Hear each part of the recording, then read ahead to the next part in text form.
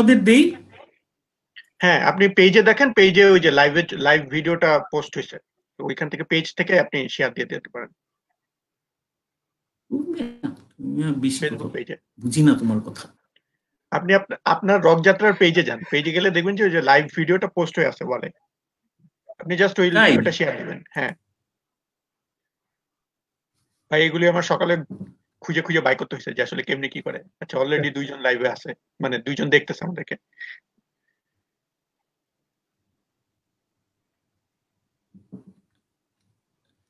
একজন হ্যাঁ একটা লাইভ আছে কিন্তু হ্যাঁ ওইটাই ওইটাই ওইটাই সব জায়গায় শেয়ার দেন। ওকে যারা ভিডিও যেই দুইজন ভিডিও দেখতেছেন লাইভ তাদেরকে বলতেছে আমরা আসলে এখনও টেস্ট করতেছি যে সেটিংস গুলি আমরা এখানে জানি না আসলে কি হচ্ছে বাট একটা থেকে আমরা হচ্ছে সিরিয়াসলি কথা বলা শুরু করব। মিলু ভাই এখনও বোঝার চেষ্টা করতেছে যে কি হচ্ছে। ওকে চারজন আমরা দশজন হলে কথা বলে শুরু করব ওকে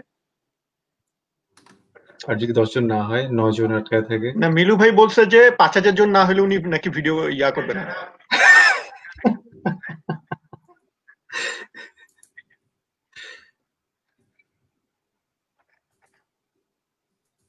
হ্যাঁ জিয়া ভাই ঢুকছে। ওকে।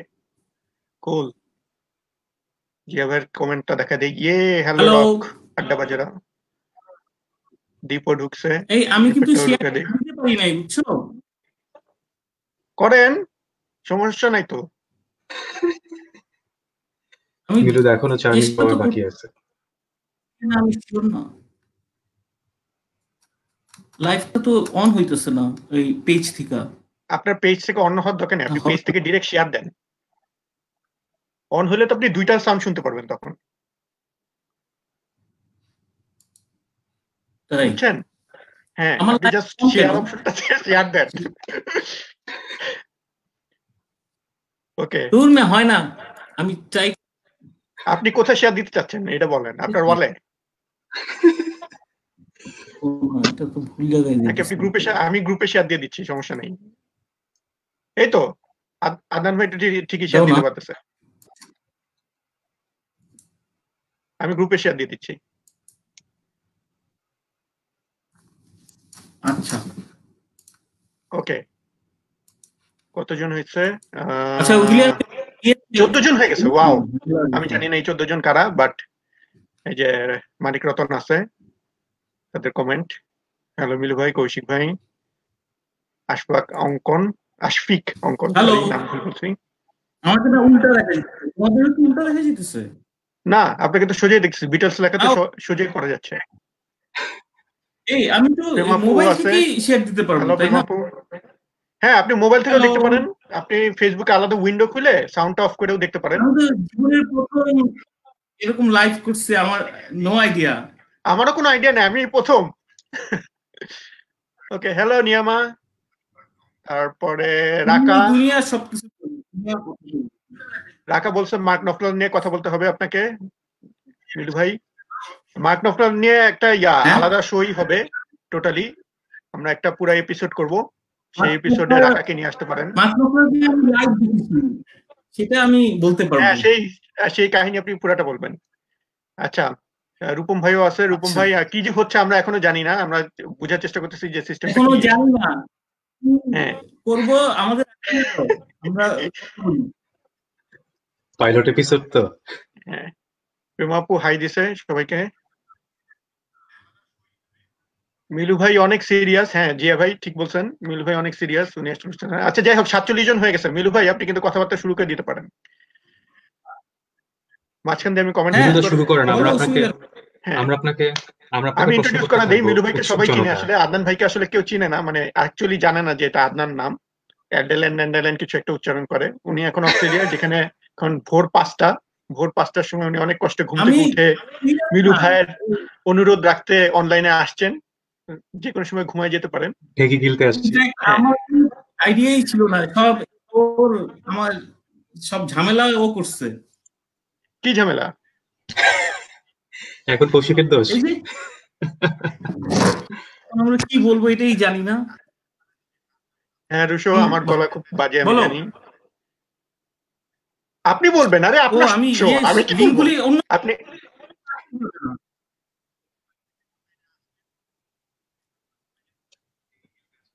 বিলুদা শুরু করেন। হ্যাঁ, এটা কিছু বলেন। হ্যাঁ। ফ্লয়েডিয়ান আচ্ছা ফ্লয়েডিয়ানের আগে আপনি বলেন যে হ্যাঁ। আপনার এই বই মেলায় কেন বই বের হয় নাই? আমার আমাকে কিছু একটা বল। আমি কি বললে ঠিকঠাক হয় ওইটা আমাকে কেউ বলো। আরে আমি সেটাই আপনি- বলব। আপনি এত বছর আর যে হিসেবে কাজ করছেন শোটাও নামাইছেন এখন এগুলি কি বলতেছেন আমাদেরকে? আমরা এগুলি জীবনে করছি। তুমি তো তুমি তো আমি বিলুদাকে। আরজে? থেকে তুমি তো বিলুদাকে আরজে থেকে ভিজে বানাই দেওয়ার চেষ্টা করতেছ এই জন্য নিয়ে এম্বারেস তো আরে মিলু ভাই ভিজে ইয়া করছে ওনার ইউটিউবে একটা ভিডিও আছে কি কি জানি জ্ঞান দিছে। তারপর আমরা বই মেলার সময় ওইটা আমি কি জানি বললাম ওটা যে ওইটা ওটা আমি comment- দেখি, হ্যাঁ। কন্টিনিউ করব। তো এখন মিলু ভাই তখন বলছে হ্যাঁ হ্যাঁ হ্যাঁ এখন বলতেছে যে না করবে না। মিলু ভাই। মিলু ভাই বড় কোনো একটা প্রজেক্ট। হাতে নিছে। এই জন্য তার এই জন্য আপনি কমেন্ট কমেন্ট কমেন্ট পরে পড়েন আপনি এখন ইয়া করেন আগে সবার কথার না কমেন্ট দেন। আপনি আমি বললাম। আপনি আরেকটু সামনে আসেন আপনাকে দেখতে পাচ্ছেন না লোকজন। মিলুদা আপনার বিছানা দেখা যাচ্ছে অনেক বেশি আপনি সামনে আসেন। হ্যাঁ আপনি আরেকটু সামনে আসেন হ্যাঁ? আপনাকে দেখতে পাচ্ছেছে না। আপনার থেকে আমাকে বেশি ফর্সা লাগতেছে এখানে এটা তো ঠিক না। আমি এখানে সবচেয়ে কালো মনে আমি কি করব বলো তো? হ্যাঁ হ্যাঁ এই ঠিক যে আছে? ঠিক আছে একদম হুম। চলো আমরা আসলে এই যে কিছু করার নাই তো? অ্যাকচুয়ালি সেই জন্যই সবাই একসাথে আহ, এখন হ্যাঁ, সেটাই। সেটাই। এটাই মূল ইয়ে আর কাহিনী আর জিনিসটা হলো আমরা একটা খুব আজব একটা সময়ের মধ্যে যাচ্ছি তো। এখন আসলে আমাদের কার কি হবে জানি না। অ্যাকচুয়ালি এই খারাপ সময় কতদিন থাকবে সেটাও আমরা জানি না। খারাপ সময় এ, শেষ হবে না। আমরা- এই সিরিয়াস বিষয়গুলি আলাপ করব না। সেটাই হ্যাঁ, আর কি হ্যাঁ। বলতে চাই আমি। সেটাই সেটাই। আমরা টোটালি। এইসব করোনা টরোনা বাদ দেই আর আমরা অন্য আমরা একটু যে এই কাছাকাছি আলাপ করতে পারি। আর আর এই যে তোমাদের যাদেরকেই আমি চিনি অথবা যাদের সাথে আমার কিছু পরিচয় আছে সব আজব ভাবে কিন্তু সবার সাথেই আমার মিউজিকের মাধ্যমে পরিচয়। এমন কেউই না আমার জীবনে। যার সাথে আমার মিউজিকের ছাড়া অন্যভাবে পরিচয় হয়েছে শুধুমাত্র আমি বই রাইটারদের সাথে যে পরিচয়গুলি সেগুলি কেমনে ইয়ে হ্যাঁ এখন। এখন হচ্ছে আসলে এখন আমার রাইটারদের মহলে একটা পরিচিত লেভেল হয়েছে আর অ্যাডভার্টাইজিং আমি যেহেতু জব করতাম সেখানে আমার একটা পরিচয় হয়েছে এছাড়া আসলে আমার সবাই কোনো না কোনো ভাবে মিউজিক রিলেটেড মানুষজনের সাথে আমার বন্ধুত্ব আসলে। এবং সবাই মোটামুটি লাইক মাইন্ডেড মানুষজন। হ্যাঁ, আমার একটা খুব সুন্দর সময় আসলে কেটেছে আসলে। টিনু চলে আসছে রঞ্জন ভাইও চলে আসছে আমি ওদের অ্যাড করতেছি। ফ্যান্টাস্টিক মিলু ভাই। কেমন আছেন আদনান ভাই কৌশিক মিলু ভাই? কি অবস্থা? তিনু রশিদ তিনু রশিদ রঞ্জন ভাই কেমন আছেন? তো। তোমরা কিছু একটু বলো প্লিজ আমরা আসলে আচ্ছা আহ, আবার মনে হয় যে আমরা একটা ইন্ট্রোডাকশন দিই মিলু ভাইয়ের কথা বলা শুরু করা উচিত। সেটাই। মিলু ভাই হ্যাঁ। হ্যাঁ। আপনার আড্ডা এটা রক উইথ মিলু ভাই এটা রক আড্ডা উইথ মিলু ভাই আপনি যদি কথা না বলেন তুমি বলব সেটা আমাকে একটু আপনি শুনেন আপনি প্রথমে তাহলে এটা বলেন যে বাকি তিনজনের সাথে আপনার পরিচয় কীভাবে সেটাই বলেন। এটা বড় কথা। আপনি শুনেন আপনি প্রথমে তাহলে এটা বলেন যে বাকি তিনজনের সাথে আপনার পরিচয় কীভাবে সেটাই বলেন। ফুল হয়। না কেন এটা? হ্যাঁ হ্যাঁ। কি পোস্ট ছোট ছোট লাগতেছে। কেউ একজন ফেসবুক অন করে তিনু- তিনুকে বড় হ্যাঁ করো। স্ক্রিন বড় বড় করে হ্যাঁ, টিনুকে বড় করে- কেউ একজন টিনুকে বড় করে করো। ওকে দাঁড়ান আমি দেখি কীভাবে করে এটা। টিনু কাছে হ্যাঁ। হ্যাঁ দেখা যায়। আচ্ছা টিন- টিনু নেট হয় আটকে গেছে।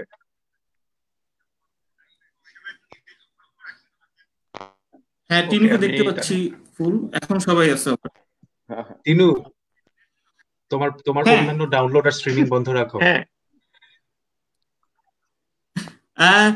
এখানে আমি আমার যে এই যে আমার সবার সাথে পরিচয় আর কি মিউজিকের মাধ্যমে এটা আমি বলতেছিলাম আসলে।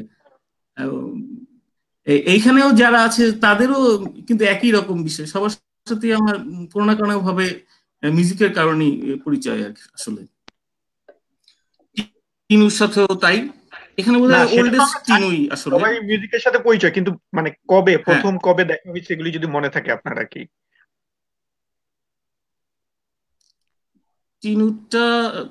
আহ, না আমার মনে হয় সাথে আগে। তারপর. টিনুর সাথে রেডিওতে এবিসি রেডিওতে তাই? তার আগেও আমার সাথে কথা হইতো আসলে আর রঞ্জন অ্যাকচুয়ালি রেডিওতেই আমরা একটা শো করতাম একসাথে। সেইখান থেকে। হ্যাঁ। তার ওই- ওই- আমাদের ওই শোতেই হচ্ছে আমার আসলে রেডিও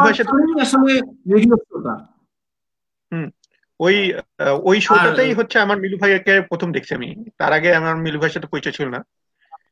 রঞ্জন ভাই নিয়ে গেছিল আমাদেরকে ধরে। এই ওই উপায় শোতে। হ্যাঁ আর এই যে রঞ্জনের ব্যান্ড মেম্বারদের সাথে পরে পরিচয় আদনানের সাথে ওইভাবে পরিচয় ইন্টারেস্টিং আর কৌশিকের সাথে আমার কীভাবে পরিচয় আমার ঠিক মনে নেই আমি তো এই তো বললাম তো ওই যে আপনার ওই রেডিও শোতেই এই রঞ্জন ভাই ধরে নিয়ে গেছিল আমাকে কোন একটা কি জানি এরকম একটা প্রবাবলি রক হ্যাঁ, রক অ্যালবামেরই। বোধহয় কোন একটা ইয়া ছিল হ্যাঁ সেটাতে আমি গেছিলাম সে হ্যাঁ। ওইটাতে হচ্ছে তখন আপনার সাথে যখন কৌশিক খালেদ ভাই ছিল অ্যালবাম বের করতো আর কি। হ্যাঁ হ্যাঁ তখন আমি অ্যালবাম বের কৌশিকের- কিছু বস্তা অ্যালবাম বের করছি। কেউ কিন্তু না। সেটাই। অ্যাকচুয়ালি জানো কৌশিক কিন্তু অনেক কিছু করতে পারতো এই মিউজিক ইয়েতে সে করে নাই। তাকে তোমরা হ্যাঁ। ধরো না কেন? কে ধরে না? ও এখন লেখক অ্যাকচুয়ালি স্টুডেন্ট মিউজিক এই জিয়া ভাই অনেক মিউজিক সিনের জন্য। হ্যাঁ হ্যাঁ আর না না কৌশিক এখন লেখক বুঝছেন এটা ইন থিং এই মিউজিক টিউজিক করে বেল নাই। এখন লেখক হওয়াটা বড় আচ্ছা মিলু ভাইও তো এখন লেখক তাই না? হ্যাঁ মিলু ভাই তো মিলু ভাই তো মিলু ভাই। মিলু ভাই তো বেস্ট লেখক হ্যাঁ, আমার মনে এখানে এটা এই পেজটা থেকে হচ্ছে যে পেজটা থেকে হচ্ছে আমি ভাবছিলাম আমি এখানে ইয়ে এই সব ইয়ে নিয়ে আর আলাপই করব না। আচ্ছা, বই নিয়ে আলাপ। করব। হ্যাঁ আচ্ছা বই নিয়ে করে আমার আচ্ছা আমার মনে হয় রজন ভাই আমরা পালাই চলেন আমরা পালাই আমাদের হ্যাঁ, তো দেখা চলে এসছে আমি এখানে মিলো আমার না।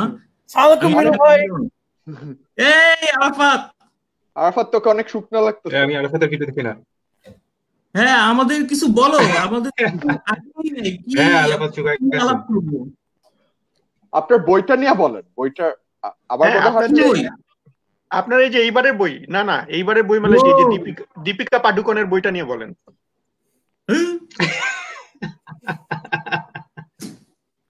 এবার আরাফাত এবার আমি বই লিখতে পারি নাই বুঝছ? শেষ করতে পারি নাই। হুম। তো ইয়ে এটা কৌশিক। কৌশিক আমাকে একটা প্র্যাঙ্ক করছে আর কি যে আমি একটা কভার বানায় সেটা ভাইরাল করে দিছে। কিন্তু আমার মনে হয় ওইটা নিয়ে বই করা উচিত বুঝছেন?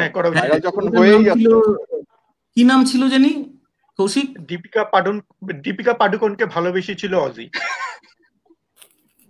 এটা কিন্তু খুঁজছে বইমেলা এসে লোকজন কার্নিভেল এত আন্ডার রেটেড কেন? আপনি আসল কারণটা বলেন।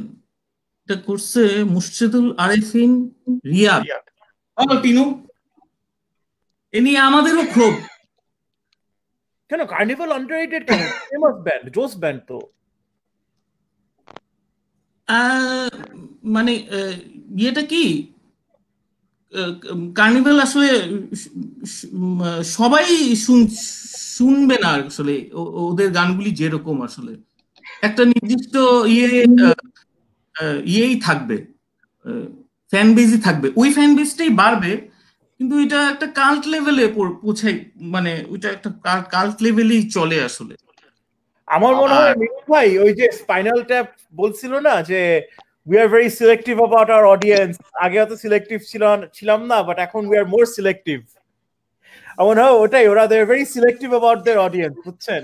না, আমার. ধারণা আমার ধারণা আসলে টিনুর প্রথমেই ইচ্ছা ছিল নাটকে নামবে ও নাটকে নামছে ও মুভিতে নামছে না নাটকে। কোথায় যে নামছে?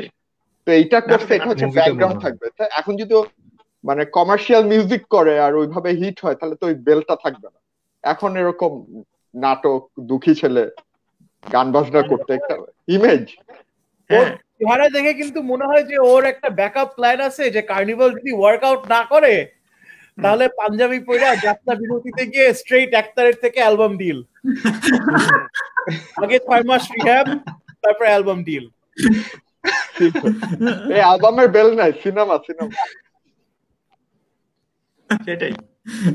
কার্নিভালের অনেকে হয়তো আর্টসেলের মতোই প্রতি ঈদে আসতেছে। প্রতি ঈদে শুনি একবার করে আসবে কার্নিভালের এবার এবার ফাটায় ফেলছে। এবং বাকি দুই কয়টা গান বের করবে? তিনটা তিনটা তিনটা গান রিলিজ হয়েছে রাইট হ্যাঁ আর আমরা তো এটা অনেকে তো এটাও জানি না যে মিলু ভাইও অ্যাক্টিং করে ওনার একটা শর্ট ফিল্ম আছে। অনেকে এটা জানে না। হ্যাঁ জানি না তো লিঙ্ক পোস্ট করেন রঞ্জন ভাই। হ্যাঁ? মিলু ভাই একটা শর্ট পোস্ট করে দেন। আচ্ছা। ভাই হ্যাঁ? শর্ট ফিল্ম এটা আবার চাকবেরির বাথরুমে শুট করা হয় নাই তো?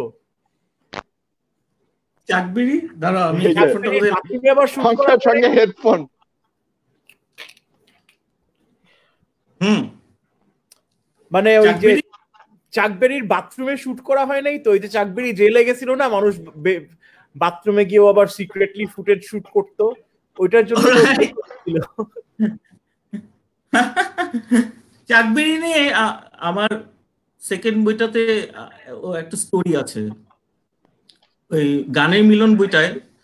ওই বইটা পড়লে আরাফাতকে বলতেছি ওই বইটা পড়লে ইন্টারেস্টিং অনেকগুলি ইয়ে আছে যে আমি জাম্প করে করে টাইম হপিং করে মানে টাইম ট্রাভেলের মতো মিলন নামে একটা ক্যারেক্টার বিভিন্ন স্টোরিতে ঢুকে যায়। জি। স্টোরিটা আছে জ্যাঙ্গোর স্টোরিটা আছে তারপরে মানে রক এন্ড রোলের শুরুটা কীভাবে আস্তে আস্তে কীভাবে হেভি মিউজিকে আসলো ওদের সবগুলি ঘটনাই এখানে করা হয়েছিল আর কি। অ্যাকচুয়ালি এই ঘটনাগুলি আমাকে খুব ভালো লাগতো বেথোভেনের সাথে কীভাবে মুজার্টের দেখা হলো সেই ঘটনাটাও আছে ওইখানে। শিট এটা আমার পড়তে হবে। আমি বা- বুঝছেন বিলু ভাই এত আইলসে আমি। কোন ক্লাস টেনের পরে আবার বাংলা পড়তে লাগে নাই আমি এখন বাংলা পড়তেও পারি না। সেটাই বই ই- ইংরেজি হইলে তুমি পড়ে ফেলতাম তাই।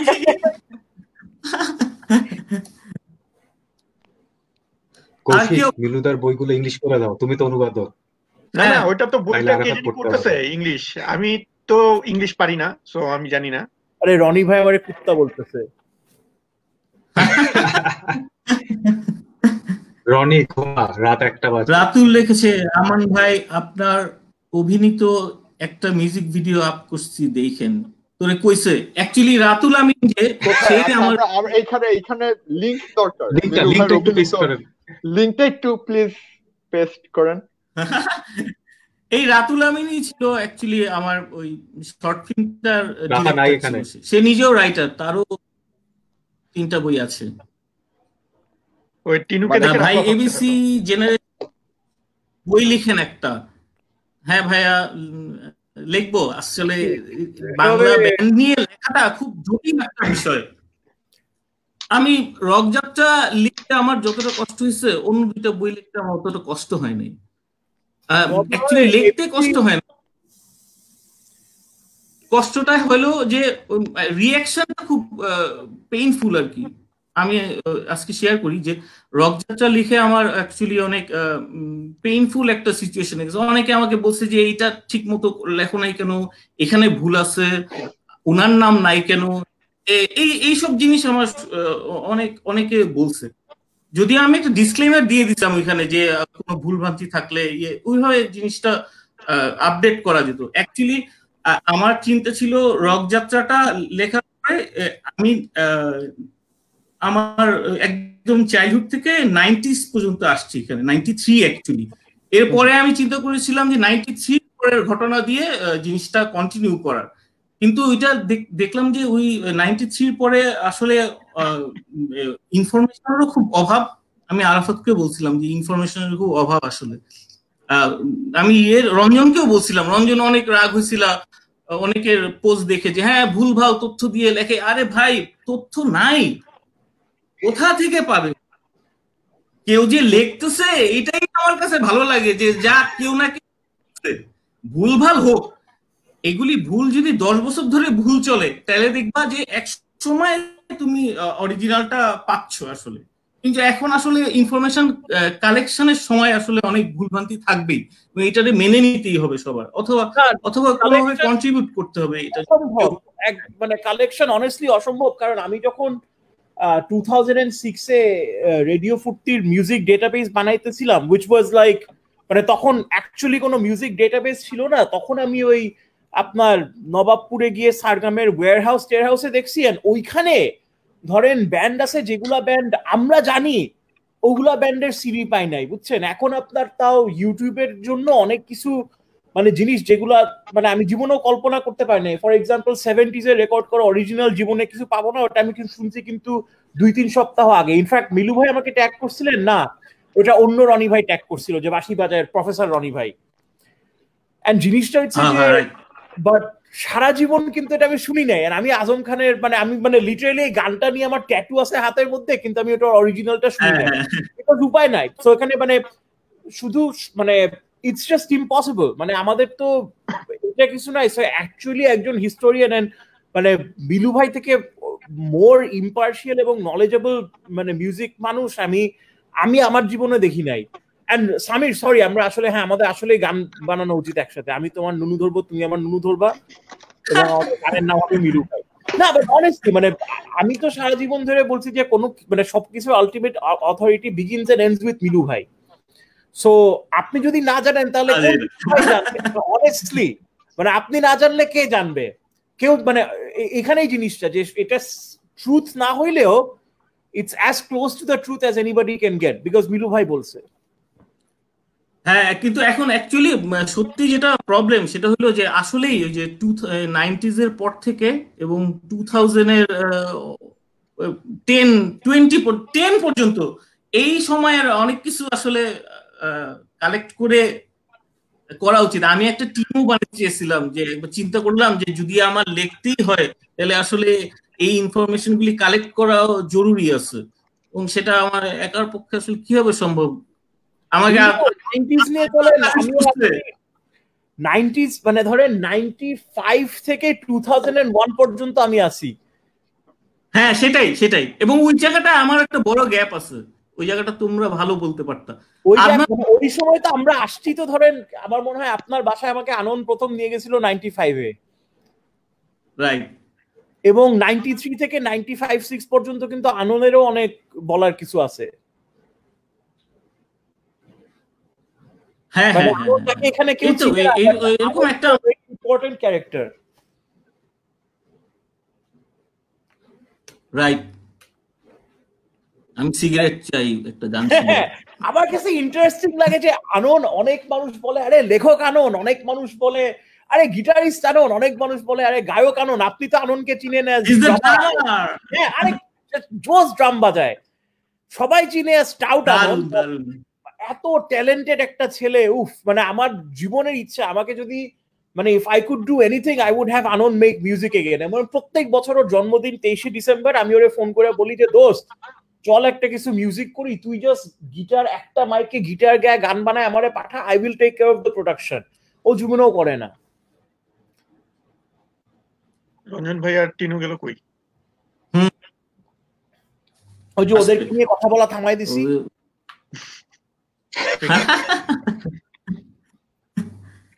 হ্যাঁ অ্যাকচুয়ালি এগুলি কালেকশনের একটা ব্যবস্থা যদি আমরা করতে পারতাম আসলে সত্যি তাহলে আসলে এটা নিয়ে কাজ করা যায় করেন আপনাকে কাজ করতে না করছে কে? আপনি তো করেন না। আর তুমি তুমি করো। তোমার ক- আপনি হইতেছেন গডফাদার এখানে বুঝছেন? আপনার হ্যাঁ, আপনার কাছে সবাই আসবে। এখন আপনি হচ্ছে সব রেডি করে রাখবেন জিনিস। আমরাই যদি সব করি তাহলে তো হবে না। আপনি হচ্ছেন খুঁটি। তাই না? হুম। আমি কিন্তু এই কথা মিলুদাকে খুব খুব সিরিয়াসলি এবং প্রপারলি বুঝাই বলছে। উনি বলতে চাইতেছেন যে উনার যদি লেখালেখি কাজ করতে অনেক সময় লাগে তাহলে রিসার্চের জন্য ওনার একটা টিম লাগবে। উনি বলতেছেন ইন্টারভিউ গুলো করবে অন্য কোনো একটা মানুষ কি ওনার টিমের লোক। কিন্তু মিলুদার যেই হ্যাঁ। মানে লেজিটিমেসি আছে পুরো ব্যাপারটাতে উনি গিয়ে এখন এখন ফর ইনস্ট্যান্স সুমন ভাইয়ের যদি একটা ইন্টারভিউ নেওয়া লাগে এই মোমেন্টে হ্যাঁ এখন সেটা একটা র্যান্ডম একটা ছেলে কিংবা একটা মেয়ে গিয়ে যদি তার ইন্টারভিউ নেয় সুমন ভাই যতটা ওপেন আপ না করবে মিলুদা নিজে গিয়ে যদি জিজ্ঞেস করে আচ্ছা সুমন, তোমার আমি একটা ইন্টারভিউ নিবো just because I want to know about that specific time period in the industry তখন কিন্তু সুমন ভাই আরও অনেক ডিটেল অনেক কিছু হতে পারে। Same goes for every other musician because everybody loves মিলুদা right আর কারও তো এটা নিয়ে কোনো প্রবলেম থাকার কথা না, মিলুদাকে বলতে। সো আমার মনে হয় যে মিলুদার অ্যাটলিস্ট লেখালেখি এখন এই জিনিসটা ফাইনাল ডকুমেন্টেশন শুরু না করে উনার উচিত হবে আসলে for the next two years প্রত্যেকটা সিনিয়র মিউজিশিয়ান থেকে শুরু করে যাদের বয়স যত বেশি যাদেরকে আচ্ছা যেটা না যত বেশি তাদের থেকে শুরু করে উনি ইন্টারভিউটা নেওয়া শুরু করুন উনি সবকিছু ডকুমেন্ট করুন টেপ রেকর্ডার নিয়ে পাঁচ বছর পর উনি লেখা শুরু করুন কারণ এটা একটা খুব নেসেসারি ডকুমেন্ট হওয়া দরকার যে জিনিসটা আমাদের কাছে নাই। ট্রু এক্স্যাক্টলি ভাই এই যে তুমি বললা জিনিসটা কিন্তু এটা প্র্যাকটিক্যালি কি সহজ? আমার মিলু ভাই আমার একটা কথা আছে আপনাকে। যে- কিন্তু হ্যাঁ, আপনাকে দুই বছর আগে এই কথাটা বলে তারপর দেশ ছাড়ছিলাম। প্র্যাকটিক্যালি সহজ সেটা হলো আমার মনে হয় আপনার উচিত কমল ভাই মানে কমল ভাই যেই মানে কমল ভাই আপনার চিন্তা করা উচিত মনে হয়। হ্যাঁ অ্যাকচুয়ালি কমল ভাইকে নিয়ে মানে লেখার কমল ভাইয়ের ব্যাপারগুলো রাখা। হ্যাঁ অ্যাকচুয়ালি কমল ভাইকে নিয়ে লেখারও কথা ছিল। কমল ভাই হ্যাঁ। কমল ভাইয়ের সাথে কাজও আগাচ্ছিল কিন্তু কমল ভাই মাঝে পিছিয়ে যায় ইউনো কমল ভাই। কিন্তু কমল ভাই মাঝে মাঝে যায় ইউনো কমল ভাই আসলে এটা তো আপনিও মাঝে মাঝে হারাই যান মিলু ভাই তিনিও তো হারায় যান মাঝে মধ্যে তিনিও তো হারায় যান নেটওয়ার্কের সমস্যা আচ্ছা আপনাকে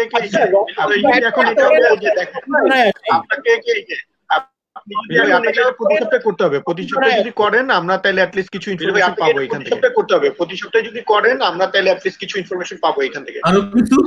এই আমাকে রঞ্জন বলছে অ্যাড মি এটা মানে কই? আচ্ছা আচ্ছা। এই আমাকে রঞ্জন বলছে অ্যাড মি এটা মানে এই যে যে অ্যাড করছি বের করে হ্যাঁ, আসলে আচ্ছা রঞ্জন আমি তোমাকে বিচার দেই। আমাকে আদনান আদনান যেটা বলছে আদনান যেটা বলছে ঠিকই বলছে। হ্যাঁ। আমি একটা টেপ রেকর্ডার নিয়ে একটা মাইক নিয়ে এই ধরো? ভাই আমি আসছি আপনার কথা হ্যাঁ। বলেন। না না একটা কথা একটা কথা হচ্ছে যেটা মিলু ভাই একটা বই লিখছে বলে এটা মিলু ভাইয়ের দায়িত্ব না যে সব ইনফরমেশন জোগাড় করবে হ্যাঁ আবার হ্যাঁ। হ্যাঁ মানে বাংলাদেশে যেটা হয় যে একজন একটা কাজ করলে সবাই দায়িত্বটা ওর- ওর উপরে চাপায় দেয়। আর আমাদের তো আসলে আমরা মানে জাতিগত ভাবে এমন যে আমাদের কোনো কিছুর স্ট্যাটস নাই। আমাদের কোনো কিছুর ইনফরমেশনই নাই। থাকলেও ঠিক মতো. হ্যাঁ, এটা আমাদের রক্তে আছে যে আমরা সবসময় নিজেরটা বলতে চাই। এখন আমাকে জিজ্ঞেস করলে ওই আমি গিয়ে আমাদের সিনের কথাই বলব। আর ভাইরাস কি করছে? তার চেয়ে আমি কি করছি? এসব কথাই বলা শুরু করব। তো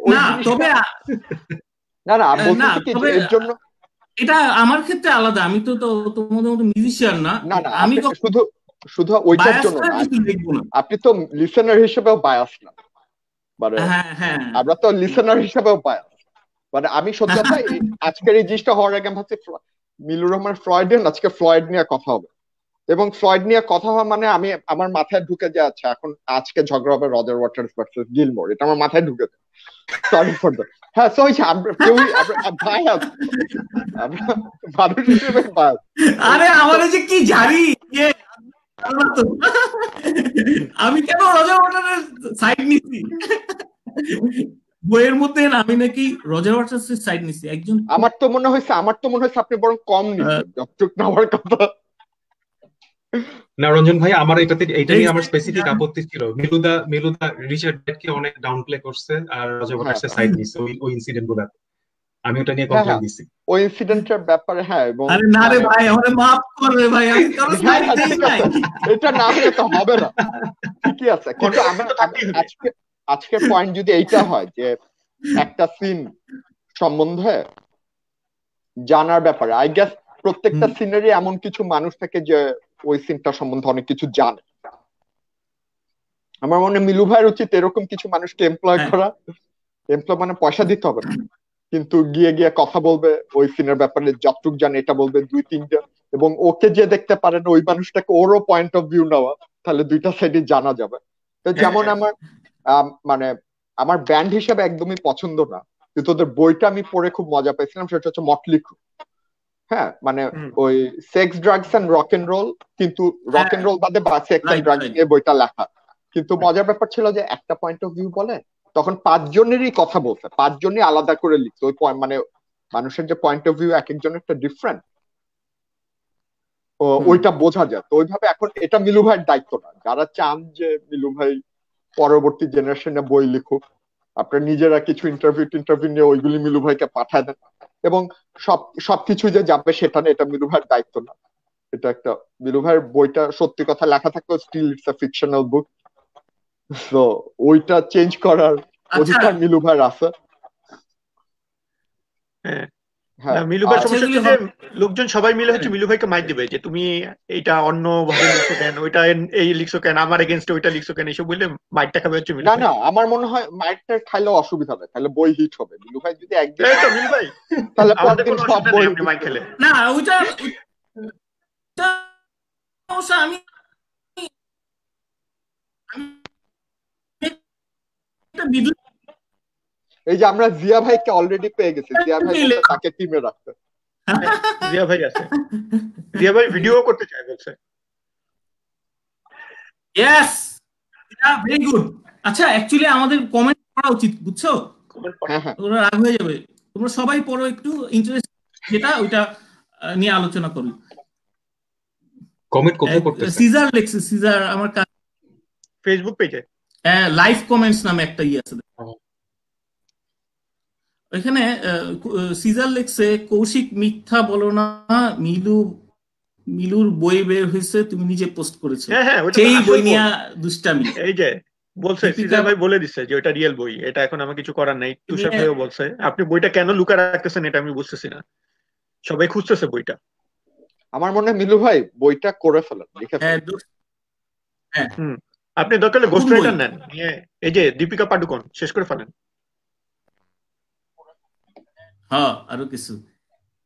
কেন? সমস্যা খুশি হলে একবার ভাই করোনা পরবর্তী বাংলাদেশে আমাদের ব্যান্ড মিউজিক পসিবল সিচুয়েশন কি হতে পারে? লিখেছে সারওয়ার জাহান শুভ।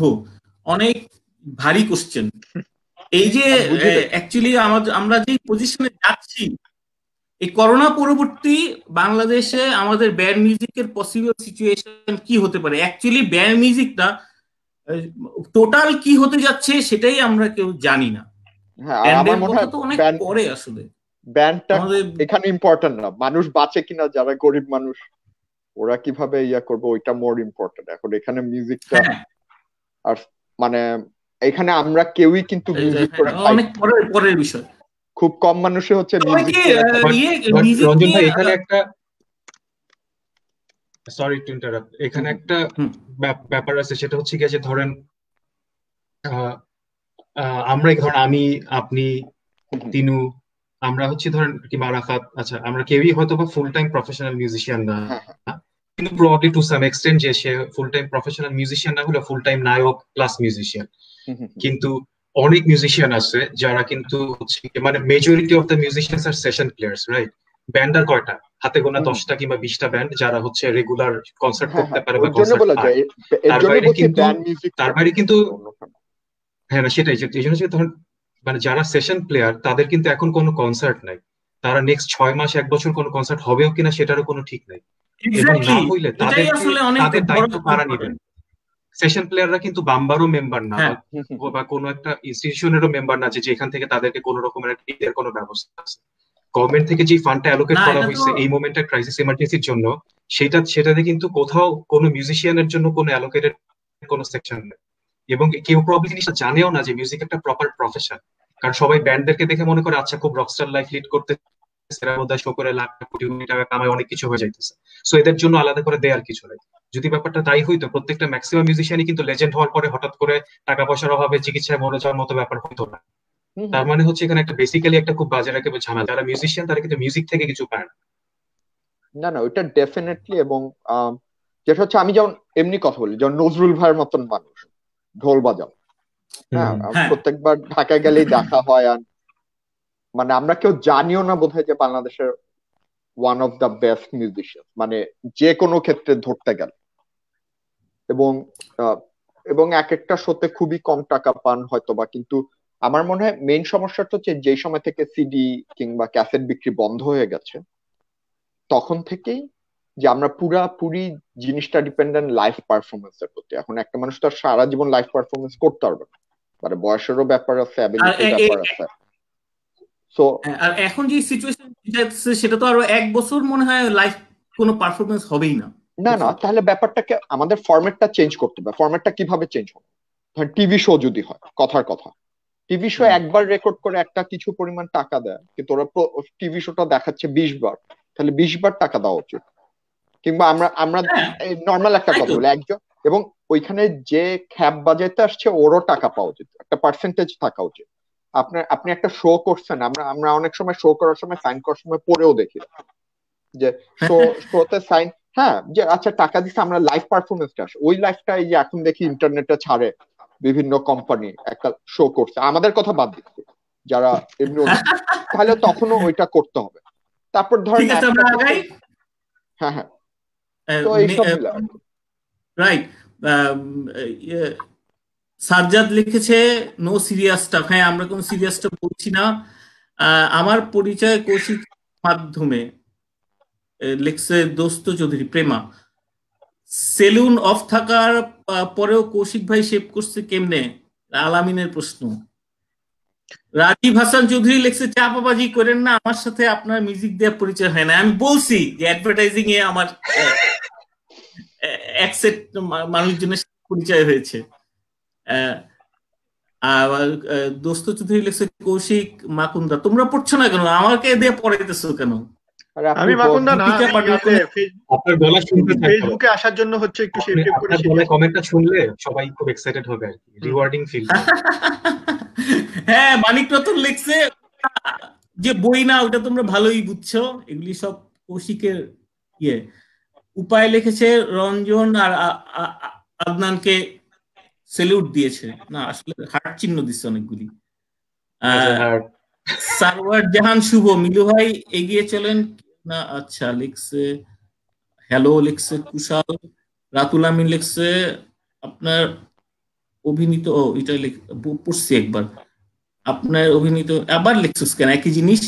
আদনান ভাই তাহসান ভাইয়ের মতো লাগতেছে। লিখছে আবার তাহসিন। তাসিন আচ্ছা তাহলে ঠিক আছে। আমাদের তাসিন যদি লিখে আদনান তোমার হয়ে গেল। এ হে পছন্দের মানুষ বুঝি হয়ে গেল। তাসিন না ভাই পিটিওসের টি শার্ট দেখে ভালো লাগছে বলছে সিজার রাতুল লিখছে আমরা আপনার একই কথা তুই কয়বার লিখছোস? আমার সাথে আপনার পরিচয় কৌশিক জামানের মাধ্যমে অবশ্যই। আহ মিউজিক নিয়ে আমার আবার চাপা আমার সাথে মোটে মিউজিক নিয়ে পড়ে তুই তো আমার কাজিন বেটা।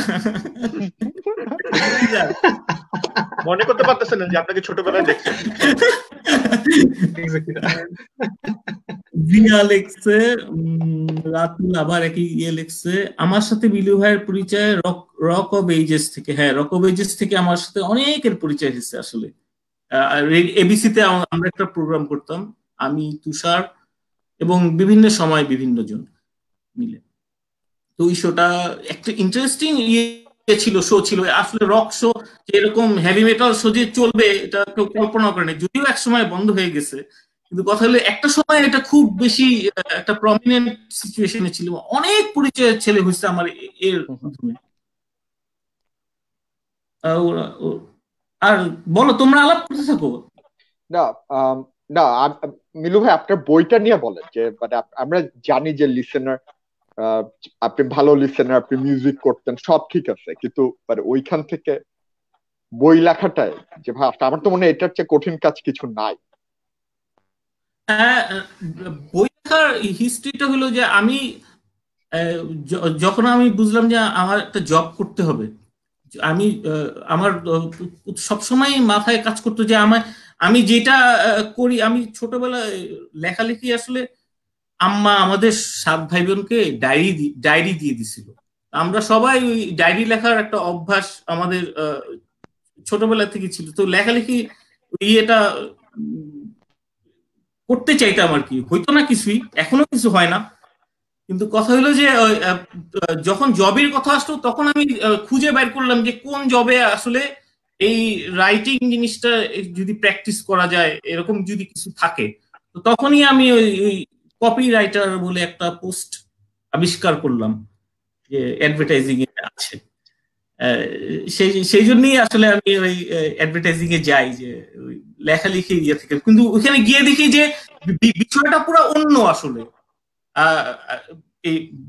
লেখার বিষয়টা যেমন ডিটেইলিং এ আর অ্যাডভার্টাইজিং এ যত কনসাইজ করা যায়, যত ছোট ভাবে প্রেজেন্ট করা যায়, কোনো কিছু বড় কিছু করার ইয়ে নাই স্কোপ নাই। চিন্তাটা বড় করতে হবে বই লেখার মতোই।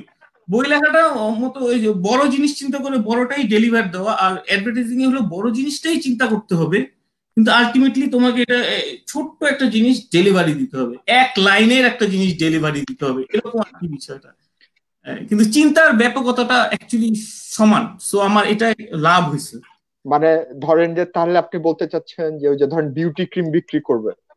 হ্যাঁ। চামড়া সেটা নিয়ে সাদা করবে আমাদের- এটা বই লিখবে তারপরে এক প্লেটে হ্যাঁ না সেটা সেটা চিন্তা করতে আমাদের পুরা দুনিয়া ঘাইটা ফেলতে হয়। যে মানে এটা এটা আসলে কি কেমনে বানাইছে ওর কম্পিটিটর কে এটা এটা নিয়ে কত রকমের গল্প চিন্তা করতে করা যায়। সবাই দশটা পনেরোটা করে গল্প আমাদের লিখতে হইতো প্রত্যেকটা জিনিস। গল্প যাবে না। ধরো টিভিসি হবে না, কিন্তু প্রত্যেকটা প্রোডাক্টের জন্য আমাদের গল্প লিখতে হইতো দশ পনেরোটা। যে তারপরে আমাদের একটা আইডিয়াতে আসতে হইতো।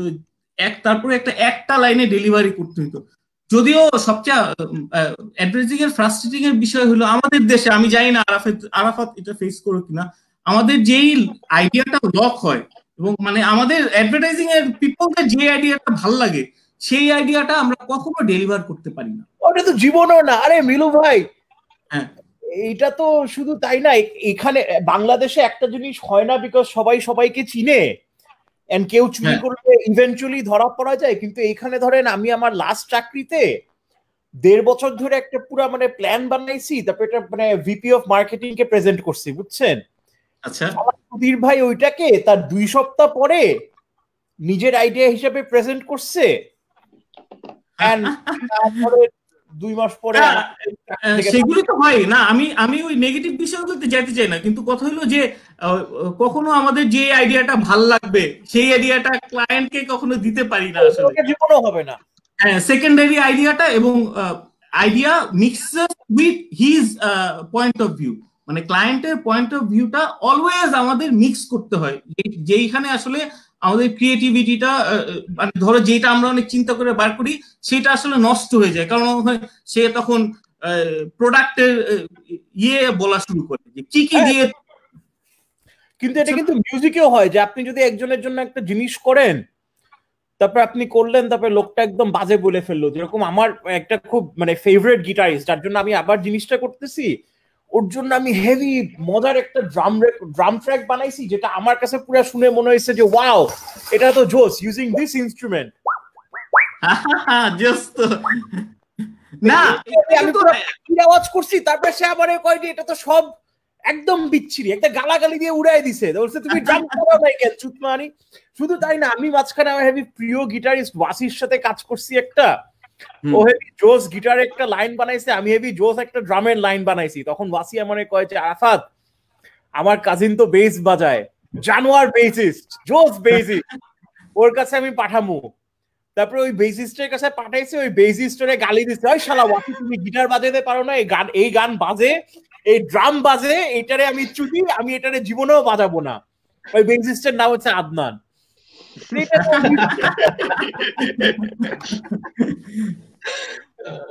হ্যাঁ কিন্তু মানে মিউজিশিয়ানদের বিষয়টাও আসলে একটু অন্যরকম। কারণ ওই এখানে তো কম মানুষের ইনভলভমেন্ট কিন্তু দেখো একটা অ্যাডভার্টাইজিং এ যখন একটা কাজ হয় তখন ধরো ফিফটিন পিপল এটার মধ্যে থাকে। তো যখন একটা আইডিয়া নষ্ট হয়ে যায় তখন আসলে ওই ফিফটিন পিপলই এটা ইফেক্ট পড়ে। ফিফটিন মানে এটা হচ্ছে এমন রং আসলে।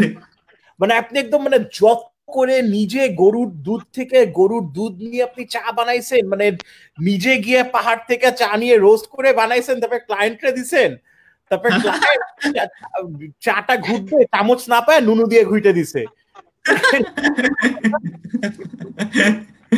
এক্স্যাক্টলি আরাফাত কাজী আমি কুত্তা বলি তোমাকে।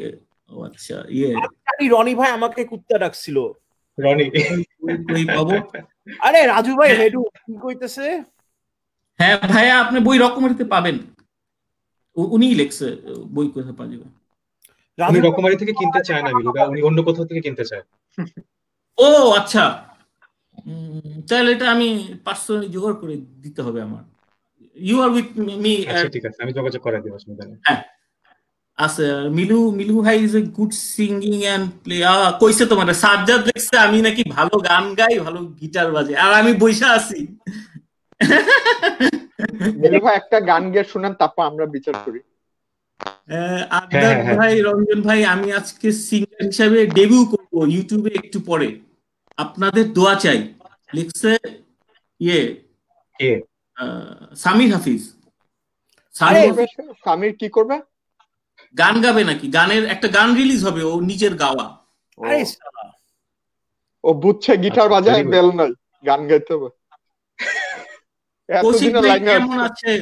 হ্যাঁ লিখছে ক্লাইড ব্রেন্টন কুয়া আচ্ছা সুমেল লিখছে আমার বন্ধু সুমেল ইয়ে, সুমেল সুমেল। জীবনে ফার্স্ট কারও লাইভে আসলাম শালা মিলুর জন্য। ভাই মিলু ভাই আমি না থাকলে কিন্তু হ্যাঁ। আপনার লাইভে আসতো না। দেখা দাঁড়া এখানে একটা খুবই কাহিনী বলি। আমার ধারণা মিলু ভাইদের ব্যাচ কি একটা জানি হ্যাঁ। পানি খাইছে আমি ঠিক শিওর এটা কিসের পানি? হ্যাঁ মানে কোনো রাসায়নিক জিনিসপত্র ছিল। তো সুমেলের সাথে আমার অন্য জায়গায় পরিচয় তা আমি তো তুমি করে চালায় টালায় দিয়ে পরে দেখি এটা মিলু ভাইয়ের ফ্রেন্ড আর মিলু ভাইদের ব্যাচের কারও বয়স বয়সও বোঝা যায় না। বয়সে না হ্যাঁ। হ্যাঁ। মানে এটা কি অনেক ছ্যাক খেলে এরকম হয় নাকি? কি আমি জানি আরে তুমি তো একটা দারুণ জিনিস বলছো। হইতে পারে। গুড আইডিয়া প্রতীক আসছে। আমাদের সাথে জয়েন করেছে বাপ্পি খান। বাপ্পি হেই সব পরিচিত মানুষগুলো দেখে ভালো লাগছে। নওশাদ জামান খান আহ, বান্দা হাজি। হ্যাঁ নসিব কি আর কি আর কি আর কি আর কি আর কি? আচ্ছা সবাই কথা বলতেছে টিনু কোনো কথা বলতেছে না ব্যাপার কি? হ্যাঁ তাই তো টিনু তুমি বলো তোমার তোমার কি বেঁচে আছে? নাকি ওই যে সামনে মোবাইল ধরে রেখে একটা ভিডিও দেখায় নাই হয়ে গেছে?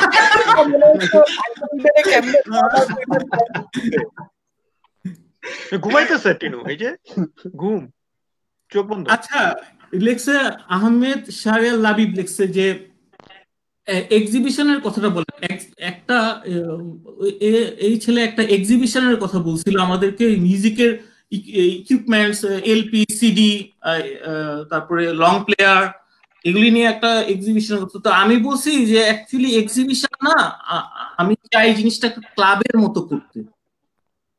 যেটা আমার নাইন্থ ফ্লোরে হবে। এক- একটা ফ্ল্যাটের মধ্যে আমি একটা অ্যাপার্টমেন্ট যদি ছেড়ে দিই, ওটা ওয়াল নাই। সো এটা একটা অ্যাম্ফি থিয়েটারের মতো একটা খালি জায়গা।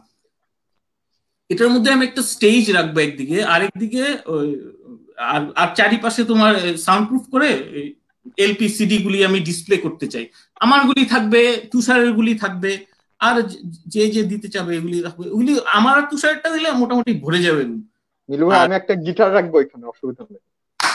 জাস্ট আচ্ছা আমাদের এখানে Ranjan roof has started his music life আজকে so please let us wish him luck আমাদের এখানে আরেকটা রঞ্জনও আছে যে নতুন মিউজিক শুরু করছে সো ওর সাথে Hey! Good luck, আমার মনে হয় নাম হচ্ছে রঙ্গন রঙ্গন। ও সরি আমি ভাবছি রঞ্জন ভুল স্পেল করছে। গুড লাক হ্যাঁ তো ওইটা আমি ওইটা আমি করব। আরেকদিকে আমি একটা মুভি ক্লাবের মতো করতে চাই আরেকদিকে একটা স্টেজ রেখে রাখতে চাই। খাওয়া দাওয়ার একটা ব্যবস্থা থাকবে তুষার কেটারিং করবে এরকম একটা প্ল্যান আছে। কিন্তু আমি জিনিসটা করতে পারি না। অ্যাকচুয়ালি আমার কাছে লিগেল কোনো ডকুমেন্টস নাই। কি আমি আসলে লিগেল ব্যাপারে খুব দুর্বল। কেউ যদি আমাকে লিগেল বিষয়টা হেল্প করতে পারে যে পুলিশ আচ্ছা। মিলু ভাই এখানে দুইটা প্রশ্ন আছে। বাংলাদেশে মানে স্পেশালি বাংলাদেশে যত ক্লাব হয় মেইনলি হচ্ছে অ্যালকোহল বেচার অনুমতি পাওয়ার জন্য ক্লাবটা বানায় পরে। হ্যাঁ না ওইটা তো আমার প্রহিবিটেড থাকবে। অ্যালকোহল ড্রিঙ্কস আর ইয়ে ওই ড্রাগস এগুলি কিছুই থাকবে না। শুধু চা শুধু দুধ চা পাওয়া যাবে আর কিছু না। তাহলে আপনার ক্লাব চলবে বলে মনে হয় না না গান শুনতে আসবে। গান শুনতে আসবে সবাই। গান শুনবে দুধ চা আচ্ছা খাবে। অফিসিয়ালি অফিসিয়ালি দুধ চা থাকবে দুধ চা খেয়ে গান করে দিবে। হ্যাঁ হ্যাঁ হ্যাঁ হ্যাঁ। লাইভে এসব কি বলছো তোমরা? মানে- শেখ মুন্না লেখছে আফগান ভাই টিনু ভাই সালাম নিবেন। আহ, টিনু ভাই হ্যাঁ এগুলি মোটামুটি নাফিস লেখছে রাজীব আর কি। হাই মিলুদা কেমন আছেন? আপনার নেক্সট বই কবে রিলিজ হবে? নেক্সট বই নেক্সট মেলায়। না, আগে বের করে ফেলেন। দীপিকা পাডুকনটা অ্যাটলিস্ট ছেড়ে দেন ইবুক ছেড়ে দেন। তাই না? হ্যাঁ। আমার মনে হয় ওইটার ভিডিওর জন্য মানুষ বসে আছে। সাবমিউল হক সিরাজি ভিডিওর একটা কালেকশন ছিল সুর বাংলা ওয়েবসাইটে ওনারদের। আই উড আচ্ছা ইন্টারেস্টিং পয়েন্ট বলছে সে। কোথাও কিছু ইন্টারভিউ বোধহয় কালেকশনে আছে। রনির, রনি ভাই আর কি যে। আচ্ছা এটা তো ওনার কাছে তো একটা ভালো জিনিস আছে মনে হয়। আবার আরও অনেকের কাছে আমি অনেক ভালো, এই যে আরেকজন লিখছে, সাফওয়ান কবি লিখছে, মিলন ভাই গোহরে আশিক ভাইয়ের কাছে অনেক রেকর্ড আছে। হ্যাঁ আশিক ভাইয়ের কাছে আমার আমাদের যোগাযোগ হয় মাঝে মাঝে। ওনার কাছে বাংলা নাই, এমন কিছু নাই। সব ব্যান্ডের জিনিসপত্র ওনার কাছে ক্যাসেটে ছিল ওগুলি উনি আবার ট্রান্সফার করছে। সো কেউ যদি চায় ওনার থেকে অল্প কিছু ইয়েতে ওইটা সে কালেক্ট করতে পারবে। আচ্ছা আমার থেকে। হিন্দু ভাই। হ্যাঁ। কবির ভাই কই? মানে আমি অনেক মানুষ থেকে রিউমার শুনি যে উনি অস্ট্রেলিয়ায় কিন্তু কবির ভাইয়ের সাথে কেউ অ্যাকচুয়ালি মানে উনি কি মানে সবার সাথে মানে কথা বলা থামাই দিছে নাকি কি? না উনি অ্যাকচুয়ালি দুই বছর আগে আসছিল এখানে তখন আমরা দেখা করছিলাম মুরাদ ভাইয়ের ছাদে মানে রেইনবোর ছাদে আর কি আমরা একটা গেট টুগেদার মতো করছিলাম। আর রাসেল ভাই আর সাব্বির ওরা গেছিল দেখা করতে অস্ট্রেলিয়ায়। তো দেখা করে আসছে। আমার এটা একটা ইন্টারেস্টিং স্টোরি আছে। আদনান কিছু বলো আদনান। ইন্টারেস্টিং স্টোরি আছে বলে কি থামা যায় নাকি বাল? না মানে ওইটা গল্পের মতো আর কি। কবির ভাইয়ের সাথে গেছে ওরা ওইটা আমি লিখে ফেলব গল্পটা। কিন্তু মানে আমার কাছে মানে মনে আছে যে আমরা আমার মনে হয় নাইনটি ফাইভ নাইনটি সিক্স এর দিকে আমরা রিয়েলাইজ করছি যে কবির ভাইয়ের কাছে যাওয়ার থেকে আপনার মানে আপনার বাসায় গেলে আমরা মিউজিকটা ফ্রি পাবো এন্ড ফ্রি খাওয়ারও পাবো।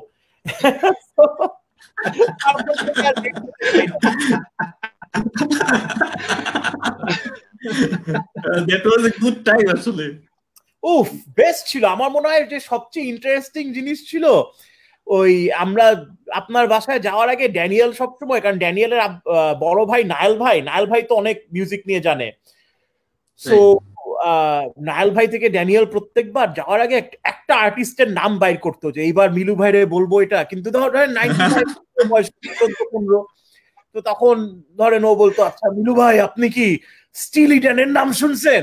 কিন্তু আমাদের কাছে তো স্টিল ইটান ইজ লাইক ও শিট এটা কই আসছে? আর আপনি তখন আরে আরে এটা তো আমার বেস্ট গান এটা শুনো।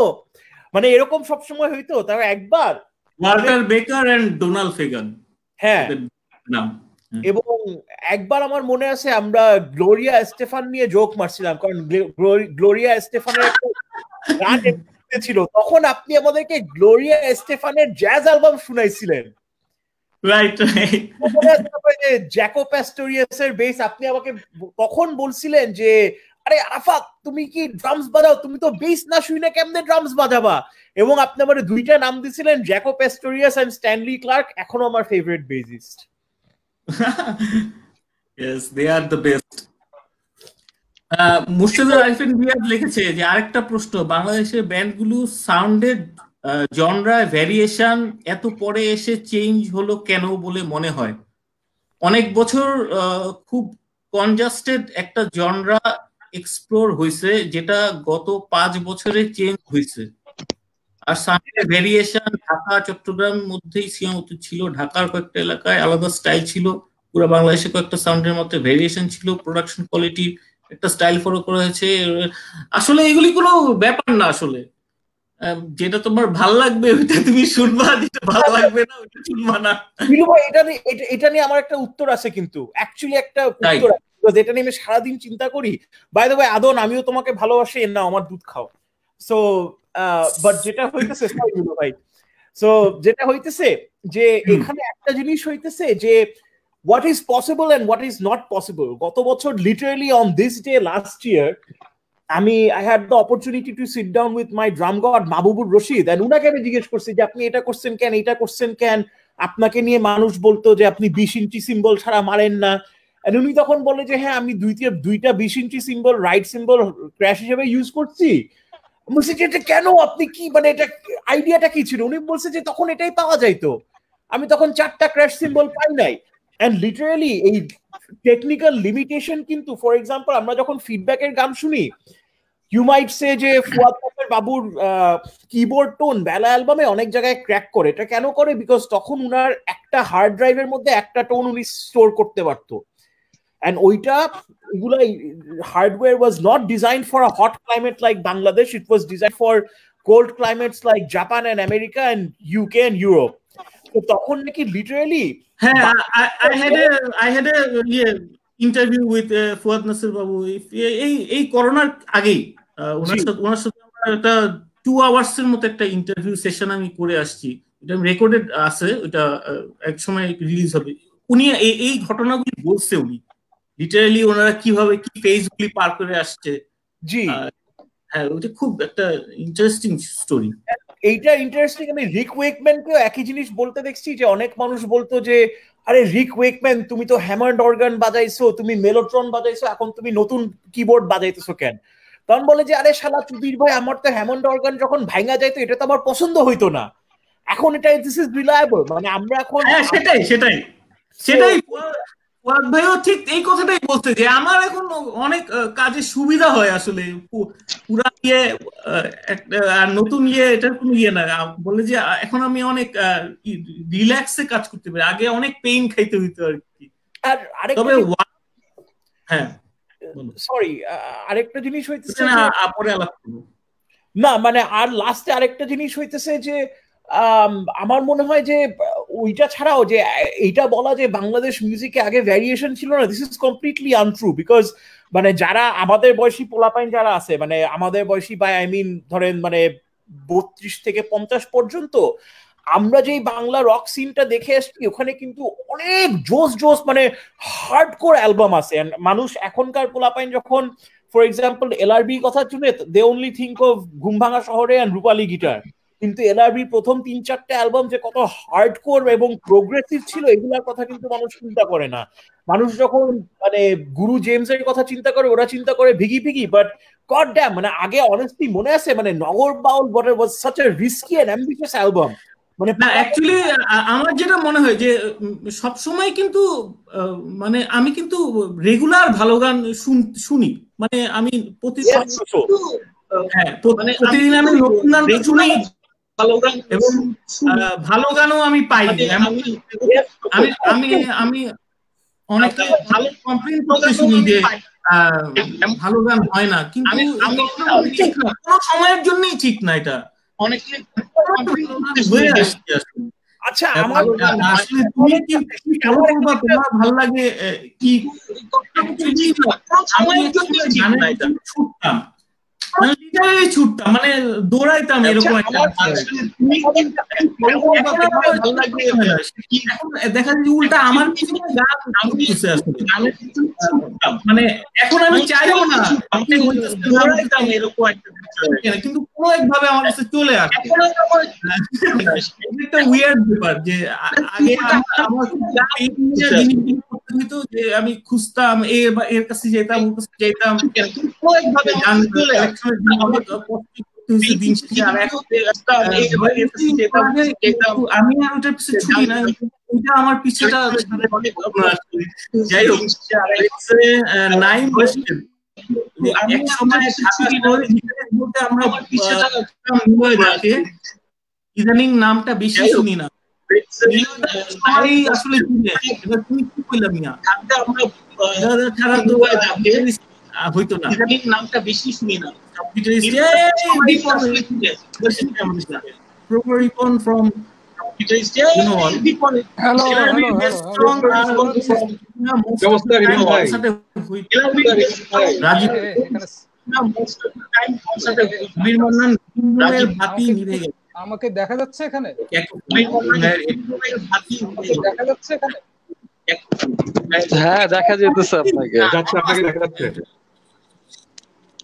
হ্যালো হ্যাঁ যাচ্ছে আপনাকে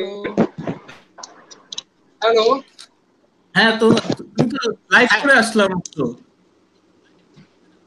ওরে কথা ভেঙে ভেঙে যায় কেন বাবা হ্যাঁ রিপন লাইভে ছিল ওই জন্য ওর লেট হয়ে গেছে হ্যাঁ একটা লাইভ চলছিল Hello? আশরাফ রহমান লিখেছে আই রিয়েলি লাইক ইওর ভেঙে বুক যায় কেন history of Hello, hello. Progressive network progressive Thank you. Internet hello আমার কথা শোনা যাচ্ছে নেটওয়ার্ক হ্যাঁ অ্যালবাম পুরোটা গাচ্ছিলাম শেষ হয়নি। হ্যাঁ কি অবস্থা অ্যালবাম পুরোটা গাচ্ছিলাম শেষ হয়নি। এগুলি তো একমাত্র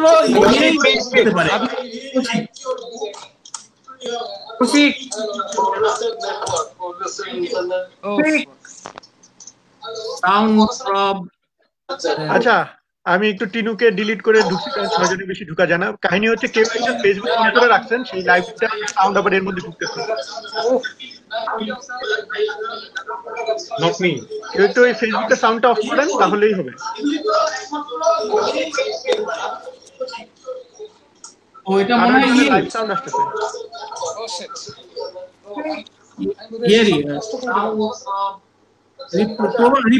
টিনুকে ডিলিট করে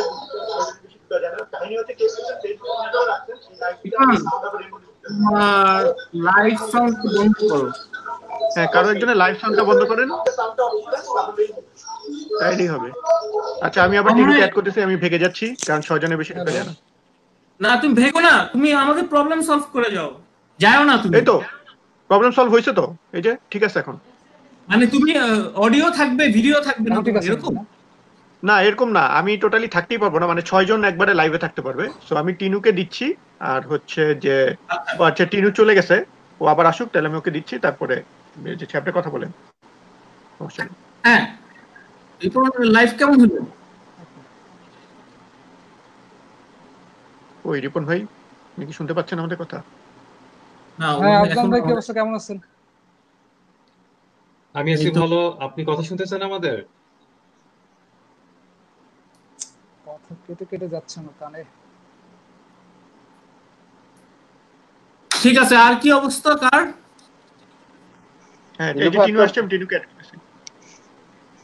আচ্ছা মানুষ যারা যখন কথা না বলবে please mute থাইকো I think that's also a good solution oh হ্যাঁ এটা ভালো বলছো। হ্যাঁ এত তিন আসছে। ইয়েস বলো আর কি নিয়ে আলাপ আমাদের? আমাদের কিন্তু এক ঘণ্টা হয়ে গেছে। এটা হেভি মেটাল থেকে ব্লুজে আসছে এখন সাউন্ডটা বলো তোমার কি অবস্থা? এই রিপন কেমন লাইভ করলা?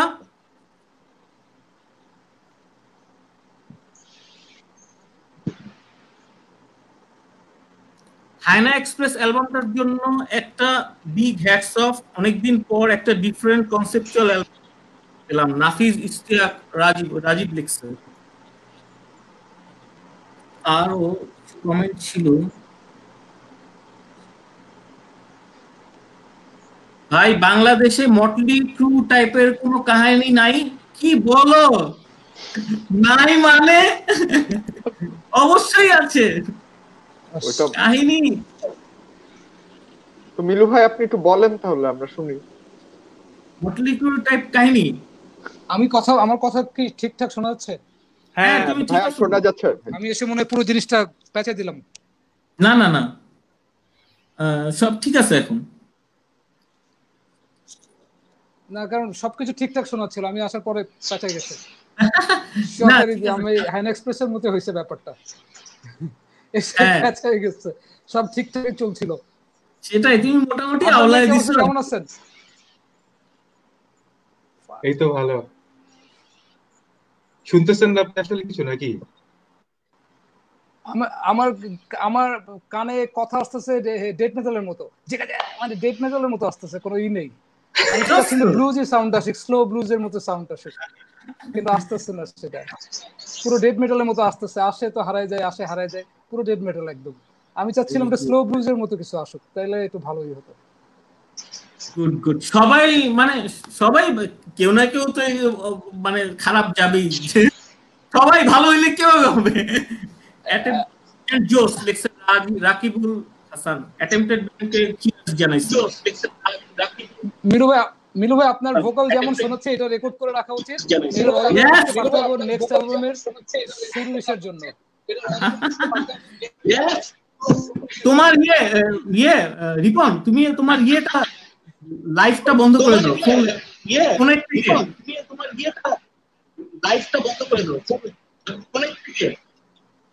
ফোনের লাইফটা বলেন আমি বের হয়ে যাই না? না না না ফোনের লাইফটা পুট ইট অন মিউট বললে মিউট পুরো আরাফাত কাজে পাজের মতো আসতেছে সাউন্ড একদম। আরে সে তাদের মতো আসলে তো অ্যাকচুয়ালি এত ডিস্টর্টেড হইতো না। ক্লিপ সিগন্যাল হইতো।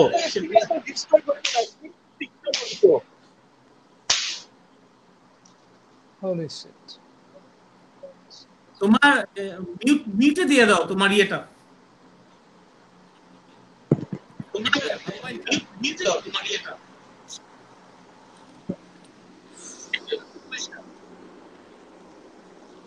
হ্যাঁ।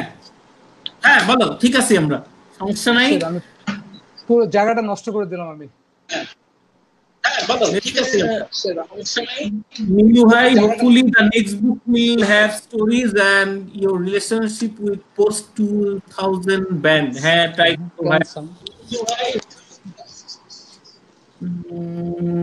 মটলি ক্রুর মতো ঘটনা আছে হ্যাঁ। আরবো ভাইরাসকে নিয়ে লিখলেই মটলিকুর মতো ঘটনা হয়ে যাবে। এখানে না ভাই আমরা দুধ ভাত। আমরা দুধ চা আমাদের আমরা দুধ চা খাওয়া ব্যান্ড ভাই। ঠিক আছে। আমরা দুধ চা খাওয়া ব্যান্ড ভাই।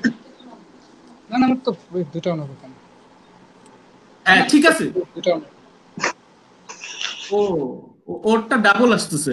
রিপোর্টটা ওরটা ডাবল আসতেছে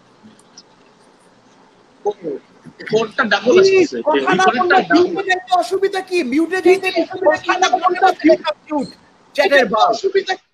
এই যে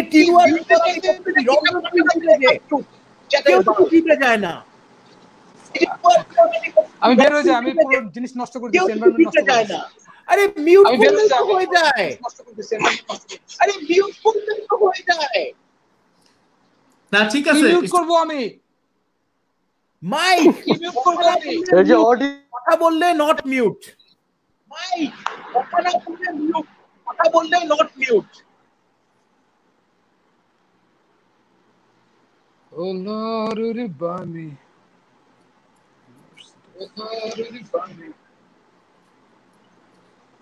হুম ঠিক আছে ইটস ওকে এখন এখন ভাই শাকিল ইবনে সেলিম। ঠিক আছে ইটস ওকে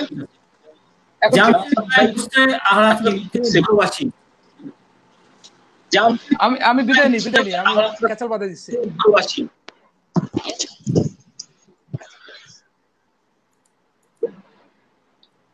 হ্যাঁ? এই যে এখন ঠিক আছে। ঠিক আছে? Okay school? এই যে এখন ঠিক আছে। ঠিক আছে? Everything school? হুম তারপর রঞ্জন বলো তোমার খবর বলো। হুম। ভাই আপনার বইয়ের খবর শুনতে আসছে আপনি। ভাই আপনার বইয়ের খবর শুনতে আসছে আপনি। আমার কোন বই? আপনি ওইটা ফার্স্ট বইয়ের কাহিনী আমরা সবাই জানি যে কীভাবে আপনার লাইফ তো সেকেন্ড বইটা সম্বন্ধে বলেন ফ্লয়েডিয়ান ওইটা সম্বন্ধে বলেন। তো সেকেন্ড আমার ফার্স্ট তো জানো এটা বাংলা লেখা। আমার ফার্স্ট তো জানো এটা বাংলা লেখা। বইটা তোমার ওই একটা টাইম ট্রাভেলের মতো। বইটা তোমার ওই একটা টাইম ট্রাভেলের মতো। ইনসাইড কিনে লেখা এই তো? শর্টকাট থেকে ইনসাইড কিনে লেখা তো? শর্টকাট থেকে এর মধ্যে একটা ক্যারেক্টার আমার ওই যে সবগুলি বইয়ে এর মধ্যে একটা ক্যারেক্টার আমার ওই যে সবগুলি বইয়ে যায় সে আর কি আহ, তার মতো এটা যায়। আর কি। মিলন নামে একটা ক্যারেক্টার আমি নেক্সট টাইম এখানে মিলন হয়ে আসব। আহ, আপনার কি আসল নাম মিলন? এটা একটা কোশ্চেন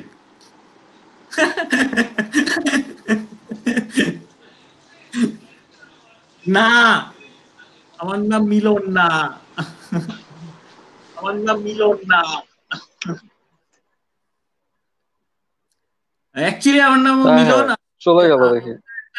অ্যাকচুয়ালি আমার নাম মিলন ছদ্মনাম ছদ্ম নামের মতো ছিল আর কি আসলে। আমার নাম মিলন আর মিলন ছদ্মনামের মতো ছিল আর আমার ইমিডিয়েট বড় যে ভাই নাম ছিল ডালিম। ডালিম থেকে ডালিম। ওকে রিপন ভাই যেহেতু নাই তারপরেও যেহেতু ওভারল্যাপ হচ্ছে এটা আপনাদের মধ্যে কারও একজনের সমস্যা। আপনারা কে অন করে রাখছেন দেখেন। কি অন করা? আদনান টিনু কৌশিক তিনজন অন করে রাখছে। আমি দেখতে পাইতেছি এখানে যে আদনান আবার গালি শুনে অফ করছে। কিন্তু এখনও কৌশিক এবং টিনু অফ করছে গুড জব এই তো দেখা আপনি অন করে রাখছেন কৌশিক ভাই। প্লিজ অফ করে দেন। আমার তো লাইভ ওপেনই করা নাই। আমি অফ করে দিচ্ছি mic করে mute করেন না চ্যাটের বার হ্যাঁ, mute করতেছি wait করতেছি। ইয়া করেন মিলু ভাই কথা বলেন। হ্যাঁ এই তো আর এখানে কমেন্ট জামশেদ হা হা হা দিয়েছে কেন? সাউন্ডে ঝামেলা হয়েছে। এবার ঠিক আছে আমরা এবার সবাই বুঝতে পারছি বিষয়টা কি। আমাকে ও আলামিন লেখছে মিলন আমান। হ্যাঁ আমার লাভ মিলন আমান ভাই। Thank you Mahbub Shahriar. Tanim Chowdhury আমার মনে হয় এটা যৌন মিলন হবে আসলে। চিল একটা হইল আর্লি নাইনটিজ ওপেন কনসার্টের সাউন্ডের অবস্থা। আরে এটা ওই যে আমাদের বুঝতে সমস্যা হইতেছিল যে ইয়ে এখান থেকে ইয়ে করা যায়। এই আর কি। সব ইংরেজিতে লেখা আমরা তো বুঝি নাই যে এটা সব ইংরেজিতে লেখা থাকবে এখানে। আর এই আমাদের মোটামুটি ইয়ে আমি পড়ে ফেলছি। হ্যাঁ বলো। কৌশিক ভাই আজকে জর্ডান রুটসের বাঙালি জাতির কাছে তুলে ধরার মতো কিছু কিন্তু কেউ নাই। ও হ্যাঁ দুইটা বেজে গেছে। এখন তো চাচা অনলাইনে আমি তো নর্মালি চাচার লাইভ পোস্ট দেই। আজকে বাদ। আচ্ছা আমরা কতক্ষণ করব? এটা তো এক ঘণ্টা করার কথা ছিল না। আমরা আরও এক ঘণ্টা করি হ্যাঁ? এক ঘণ্টা তো হয়েছেই। হ্যাঁ তো আরও এক ঘণ্টা করি। তিনটা পর্যন্ত নাকি? আসলে টিনু মারা যেতে পারে। টিনুকে দেখে মনে হচ্ছে মারা যাবে। সে তো মাঝে মাঝে দেখছি ঘুমায় গেছে তোমরা খেয়াল করছ? টিনুর মাইক্রোফোনও নষ্ট ও কথা বলার চেষ্টা করতেছে মনে হয় আলটিমেটলি হচ্ছে না।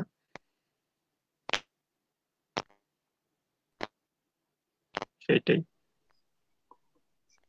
মিলু ভাই বলেন আপনি আপনার বইয়ের মাইক নষ্ট। তিনো বুঝছ? টিনু মনে হয় এই মাইক দিয়ে যদি গান রেকর্ড করে থাকে অ্যালবামে তাহলে খবরই আছে। এর জন্য আর্টসেলের অ্যালবাম বের হচ্ছে না। এই এই মাইক দিয়ে রেকর্ড করতেছে। হ্যাঁ সেটাই। আমার ভাই তোমার ভাই ব্যারেস ভাই। দেখছ রাগ করছে। আচ্ছা মিলু ভাই আসল কথায় আসি। তোমার ভাই আবার মানে। এই যে আপনার উম, মানে ধরেন আপনার ওই বইটার সাথে আমি যে ধরেন সেই সময় কিংবা প্রথম আলো মানে ও যেভাবে রিয়েল স্টোরিগুলি অ্যাড করছে সুনীল গঙ্গোপাধ্যায়। তা আপনারও হ্যাঁ, কি মানে ওই সময় ওই ওই ধরনের কোনো ইনফ্লুয়েন্স ছিল নাকি অন্য কোনো জায়গা থেকেই আইডিয়াটা আসছে যে এইভাবে লিখবেন না অ্যাকচুয়ালি মানে আশ্চর্য ব্যাপার হলো যে আমার বই লেখ- লেখার পিছনে কোনো লেখকের কোনো অবদান নাই। আমি কাউকে কোনোদিনও ওইভাবে ফলো আমি মিউজিক যেভাবে খুব বেশি ডিপে শুনছি এবং সবসময় ওইটা নিয়ে থাকছি। আমার ওই ওই ওই মানে রাইটাররা আমার ওই রাইটিং আমার রাইটিং এ ইনফ্লুয়েন্স করবে, এটা কখনো আমি, আমার চিন্তাও হয় নাই আসলে এটা। কারণ আমি অত ভালো লেখিও না, বুঝছ না? যে আমার যে একটা বড় রাইটার ইনফ্লুয়েন্স হবে সেটা করতেই পারবে না, কারণ আমি অত ভালো লিখতেই পারি না। আমার মনে হয় যে আমি যদি এই বইগুলি আসলে একটা লেখার মতো লেখা হয়েছে যে আমার একটা কন্টিনিউয়াস একটা প্রসেস হয়েছে যে আমার ভালো লেখা ইজ ইয়েট টু কাম আসলে। মানে আমি যদি এভাবে থাকি তাহলে দেখা যাবে এটা দশ বছর, পনেরো বছর বা বিশ বছর পরে হয়তো আমি ভালো কিছু একটা লিখতে পারব আসলে। দিজ আর জাস্ট মানে আম জাস্ট ডুইং ইট আসলে। এখন আমার কোনো এক্সপেকটেশন নাই। সো এখানে ইনফ্লুয়েন্সের কোনো ঘটনা নাই। এখানে আসলে আমার, আমি কারও কথা কখনো চিন্তা করি নাই। আমি যখন লিখছি যে আমার কোনো রাইটারের কথাও চিন্তা হয়নি কোনো মিউজিশিয়ানের কথাও চিন্তা হয় নাই আসলে। আমি অ্যাকচুয়ালি যে গল্পটা পড়বে একজন রিডার আমি ওর কথাটা চিন্তা করছি যে, ভাই ও যেন জিনিসটা এবং আমি সহজে লেখার চেষ্টা করছি, কারণ সহজ ছাড়া আমি কঠিন ভাষায় অতটা লিখতেও পারি না, অত কাব্যিক না। Actually Ripon is a very good writer আসলে আমাদের মধ্যে। ও- ওর ভাষা জ্ঞান অনেক ও- ও আসলে ওটা ডেফিনেটলি ওটা তো কোনো হ্যাঁ। সন্দেহই নাই। এটা আসলে অনেক চর্চা। অনেক চটটা So, এটা এটা আমি বই লিখছি কিন্তু এটা রাইটার না। রাইটার বই লিখছি কিন্তু এটা রাইটার না। তবে মিলু ভাই একটা জিনিস বলতে হবে। আমি আমার কথা কি শোনা বই তিনটা বই হ্যাঁ তিনু শোনা যায় তিনু শোনা যায়। তিনটা বই হ্যাঁ তিনু শোনা যায় আচ্ছা। শোনা যায়। আর আমি একটা কথা বলে নি দাঁড়া মাইক অফ করে দিবার পর মিলু ভাই আপনি একটু ইয়া পাবনা ভাইরে নিয়ে বললেন তো।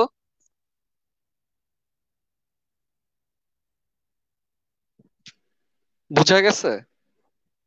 মিলু ভাই নিজেরে আনমিউট করেন কথা বলার আগে। ভাই নিজেরে আনমিউট করেন কথা বলার আগে। হ্যাঁ, ওই যে ভাবনা ভাই নিয়ে লিখতে বলছো হ্যাঁ ওই যে ভাবনা ভাই নিয়ে লেখ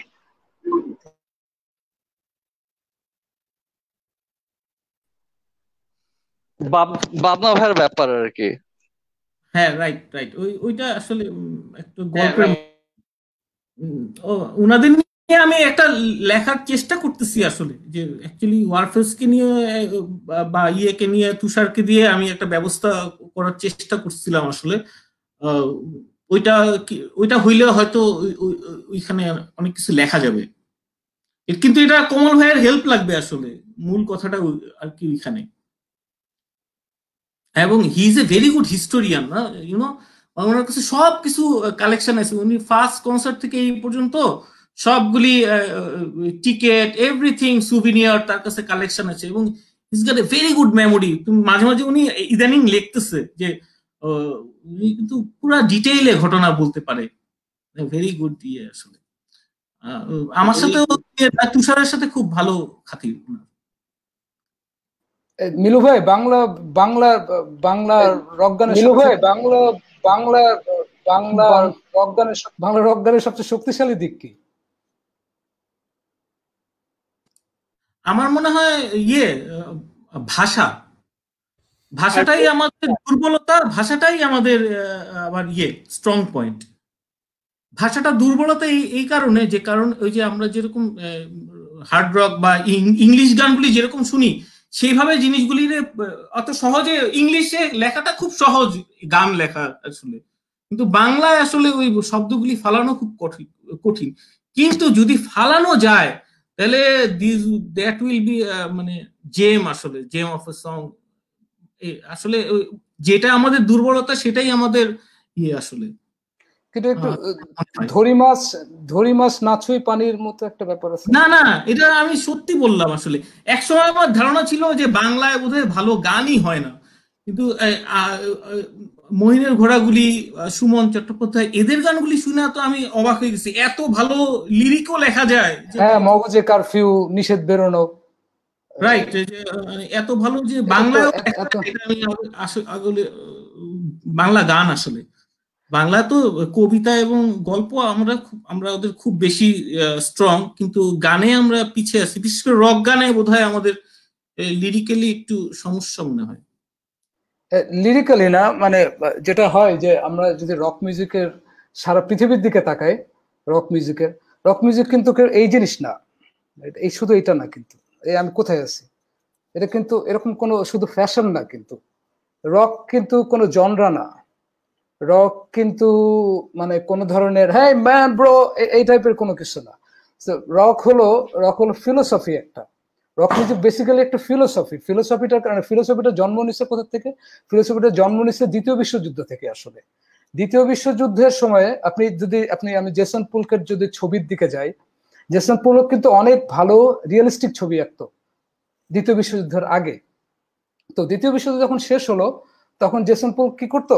জাস্ট ক্যানভাসটা সামনে এইভাবে রাখতো, রেখে ও তুলিটা নিত, তুলি নিয়ে রংটা এখানে তুলিতে নিত নিয়ে এইভাবে ছুঁড়ে মারতো। হ্যাঁ? যেগুলো এখন মিলিয়ন মিলিয়ন ডলারে বিক্রি হয়। তো ওকে একজন জিজ্ঞেস করছে যে এইটা তুমি কি আঁকতেছো? তো ও সেটা, যেটা বলতেছে যে সেই গ্রিক সময় থেকে শুরু করে এখন পর্যন্ত আমাদের মূল বেসিক বিষয়টা ছিল আসলে মানবতার চর্চা। মানুষ, মানুষকে সবসময় উঁচু জায়গায় রেখে আমরা সমস্ত চর্চা করে আসছি, আমাদের নৈতিকতা, সমস্ত কিছু চর্চা করছি মানুষকে উপরে রেখে। কিন্তু আমি এই হাজ, কয়েক হাজার বছর ধরে আমি এই কাজটা করলাম। এর মাঝখানে ক্রুসেড হলো, অনেক কিছু হলো। আমি জাস্ট মানুষের কথা বলে আমি এখানে আসলাম। এখানে এসে করলাম কি? আমি দুই তিন কোটি মানুষকে মেরে ফেললাম। তো আমার এই সমস্ত হিউম্যান যে যে ফিলোসফির যে ট্রিপ এই ট্রিপটা আমার ভিতর দিয়ে নষ্ট হয়ে গেছে। মানুষ বলে আমার কাছে এখন কিছু নেই। আমি এখন আকার কিচ্ছুই পাচ্ছি না। সো আমি এখান থেকে এটা নিয়ে এভাবে ছুড়ে মারতেছি। সো এইরকম একটা জায়গার থেকে রক মিউজিকের আসছে। আমি যে সিম্পল আর্টের লোক এবং আর্টের কোনোটাই কোনোটার সাথে আলাদা না। সবগুলো একসাথে। ঠিক আছে? সবাই সবার কাছ থেকে নিয়ে জানছে আসলে। যেভাবে পিকাসো জন কোলট্রেন এবং ইসের কি বলে মাইলস ডেভিসের কি বলে কি ব্লু ওই ওই ওই ওইটা থেকে সে প্রভাবিত হ্যাঁ। কাইন্ড অফ ব্লু থেকে। তো তোমাকে একটা কোশ্চেন করছে রাকিবুল ইসলাম আদম আমরা কথা বলি। প্রবার রিপন কি কুমার বিশ্বজিতের কিছু হন? কেন আমার কেন মনে হলো কুমার বিশ্বজিতের কেন ভাই? জানি না। আমি আমি জানি না। কলকাতা ব্যান্ড নিয়ে কিছু বলেন। বলছি কিন্তু কলকাতা ব্যান্ড নিয়ে আলাপ হয়ে গেছে। শাহরিয়ার রহমান আসিফ আসগর আমার মনে হইতেছে আন্তর্জালিন নিজের এক্সপ্রেশনের ভিডিও করা লুপে ছেড়ে দিছে। ও না না সে আছে। ইয়ে amazing history of rock thank you so much thank you Abir Mutasid for joining us Arafat ভাই king the song keep the song reviews coming please হ্যাঁ তুমি সং রিভিউ করো আসো, আরও। ওদের অ্যালবাম রিভিউ করো। রিপনদের। আমি তো, ও আমি আসলে জানেন, খোদার কসম, আমাকে অ্যালবাম বাইর হওয়ার দুই দিন আগে পান্ডু অ্যালবামটা পাঠাইছে। আমি বলছিলাম আমি রিভিউ করব। তারপর শুনতে শুনতে শুনতে শুনতে শুনতে শুনতে আমার এখন মানে পুরা আপাতমস্তক মুখস্থ হয়ে গেছেন এখন আমি প্রত্যেক দিন শুনি এখন আমার মনে হয় যে এই সোনার বাংলা সার্কাসের অ্যালবামটা এত ভালো যে আমি মানে আমি রিভিউ করতে পারতেছি না বিকজ আমি এখনও বাজে কিছু পাই নাই। সো অ্যাজ সুন আমি বাজে কিছু পাই, আমি রিভিউ করব। এক্সেপ্ট রিপন চুতমানি বাট ওইটা ছাড়া মানে লিটারেলি এত ভালো একটা অ্যালবাম যে রিভিউ তো শুধু ভালো বললে লাভ নাই তাই না? শুধু চুষলে হয় না হ্যাঁ একদম বায়াসড হয়ে লেখাই যাবে না বুঝছ না? জি আমি এত বায়াস যে আমি এখনও রিভিউ লিখতে পারি নাই বিকজ আমি যখন আমি ওটাই তো বললাম যে আমি যখনই নুনুটা মুখে নেই চুষার চিবানোর জন্য তখন চুষা শুরু করি। সরি মিলু আচ্ছা আমি কুমার বিশ্বজিতের কেউ না কিন্তু আমি নিজে কুমার না এটা ঠিক। রঞ্জনের আচ্ছা আরেকটা জিনিস কুমার বিশ্বজিৎকে নিয়ে বাজে কেউ কিছু বললে আমি ওর হোগার মধ্যে আমার হাত ঢুকামো বিকজ অনেস্টলি উনি আমার দেখা মতো জীবনের বেস্ট লাইফ পারফর্মার আদনানকে দেশে ফিরে আসতে বসে মিনহাজুল হক হাসান আশফাক। রঞ্জন ভাই আপনাকে শুনতে চাই সাফায়াত দীপ্ত। মিলু ভাই আমি কি সিগারেট খেতে পারি? ধরায়া তারপরে বলছো আমরা কি করব? তিনু তোমার তুমি আমাকে আরও কষ্ট দিবা। হ্যাঁ অ্যালবাম মিলু ভাই আমি দাড়ি খাই সবাইকে?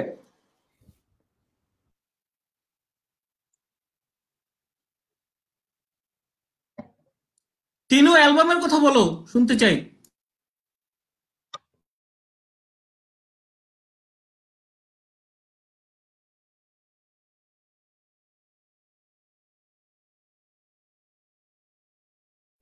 টিনু ভাগছে অ্যালবামের কথা জিজ্ঞেস করে। পুরাই ভাগছে। আচ্ছা আসবে সে টিনুই ভালোই দেখেছে বেস্ট আচ্ছা মিলু ভাই আপনি কি তো আপনার এই প্ল্যাটফর্ম আপনি যে ইনফরমেশন জোগাড় করতে চাচ্ছিলেন বিভিন্ন জেনারেশন এন্ড এভরিথিং আপনি হ্যাঁ। কিন্তু এই প্ল্যাটফর্মটা ইউজ করতে পারেন এক একবার এক একটা জেনারেশনকে দেখে ওদের গল্পটা বলতে বলেন। আমি শিওর যে প্রত্যেকটা সার্কেল প্রত্যেকটা গ্রুপে এমন কিছু মানুষ আছে যাদের মাথায় গল্পগুলো আছে।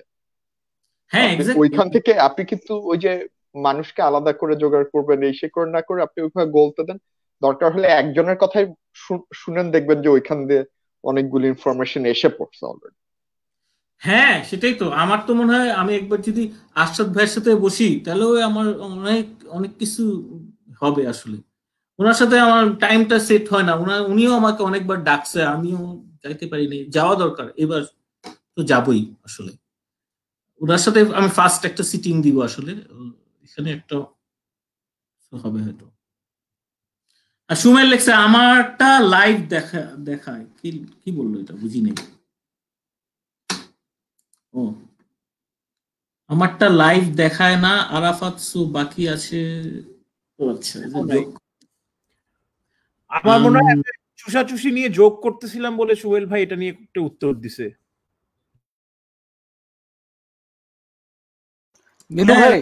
কে ভালোবাসা দিয়েছে শাকিল ইবনে সেলিম। মিলু ভাই আমার মনে হয় আপনার ওই রোলিং স্টোনের মতো না মানে ওই মানে ব্রাহ্মণদের মতো না তবে আপনার মনে হয় আমার মনে হয় যে অনেক ক্রিটিক্যাল একটা বাংলা রক গান নিয়ে ক্রিটিক্যাল একটা ইসে যাওয়া উচিত আপনার। মানে ক্রিটিক্যাল ক্রিটিসিজম যেটা কাউকে না ছাড় দিয়ে। কাউকে না ছাড় দিয়ে কাউকে দেবতা না বানায়।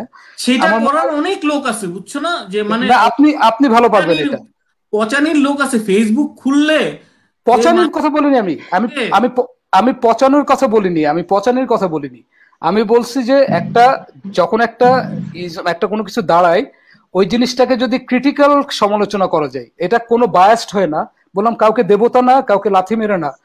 এটা জাস্ট মানে আপনাকে ক্রিটিক্যাল ক্রিটিসিজম যেটা যার ফলে জিনিসটা আগাবে আসলে। হ্যাঁ, আমি ওটাই করতে চাই। আমি সবসময় তাই করি। আমি সবসময় আমি আমি এখানকার দিয়ে করি আসলে। আমি বায়াসড কিছু করি না আসলে।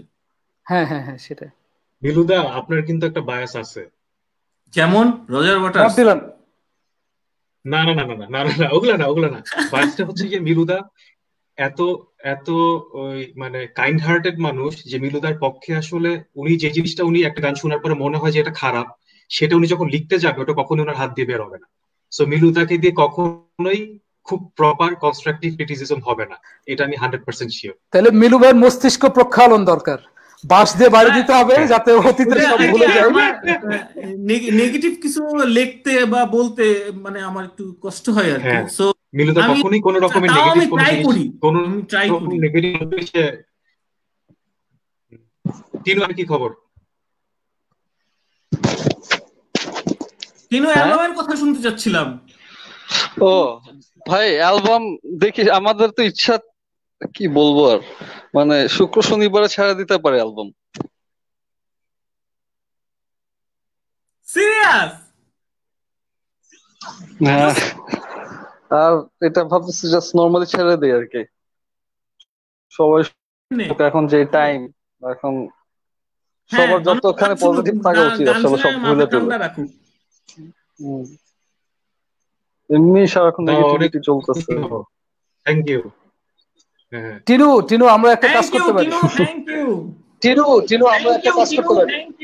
টিনু আমরা হ্যাঁ রিপন ভাই আমরা একটা কাজ করতে পারি। আমরা আমরা কিছু আমরা একটা কাজ করতে পারি। গ্যাস বেলুন কিনি। আমরা কিছু গ্যাস বেলুন কিনি। গ্যাস বেলুন কিনি। সিডি গুলো গ্যাস বেলুনের সাথে লাগাই দিই। সিডি উড়াই দিই। সাথে লাগাই দিই। সবাই সবাই সিডি তো নাই ভাই। সবাই সব ডিজিটাল সব digital YouTube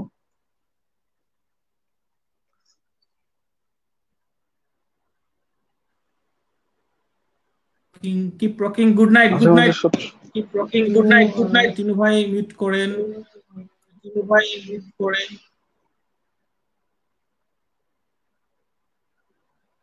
এই তো মোটামুটি আমাদের কিন্তু এই তো মোটামুটি আমাদের মিনিট থার্ড মিনিট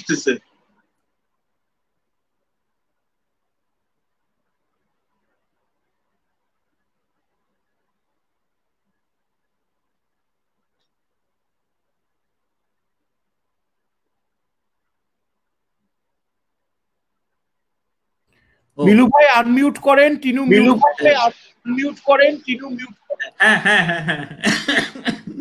হ্যাঁ ঠিক আছে সবাই। এখন বলো আমাদের তো মনে হয় উই আর এনাফ লাইভ কি বলো? ফানাফ হয়নি।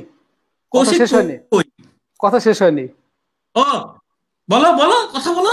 আপনি- খুঁজে পাই মিলু ভাই আপনি জানেন ওই গুগল ইন্ডিয়াকে কয় টাকা দিছে? গরিবদের খাবার দেওয়ার জন্য পাঁচ কোটি রুপি পাঁচ কোটি রুপি। পাঁচ কোটি রুপি। পাঁচ কোটি রুপি খারাপ নাকি? পাঁচ কোটি রুপি ইন্ডিয়ার জন্য গুগল দিছে এটা এটা ভালো? এটা এটা কোনো টাকা? মিলুদাকে দিয়ে নেগেটিভিটি ইন্ডিউস করাইতে ওটা পারবে। না, হিসাব করে লাভ কি? একজন দিছে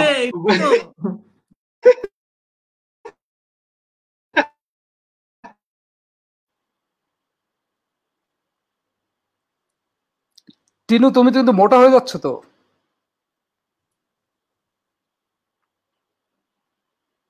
আনমিউট করো।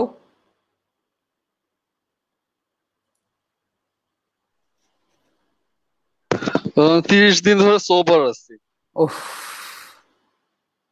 সবার রিহাব হয়ে গেল কিন্তু না? সবার রিহাব হয়ে গেল কিন্তু। সবার সবার গোপ- গোপন গোপন তথ্য সব জেনে যাচ্ছে ফেসবুক লাইভে সবাই। দেশের এটা ভালো। কি অবস্থা?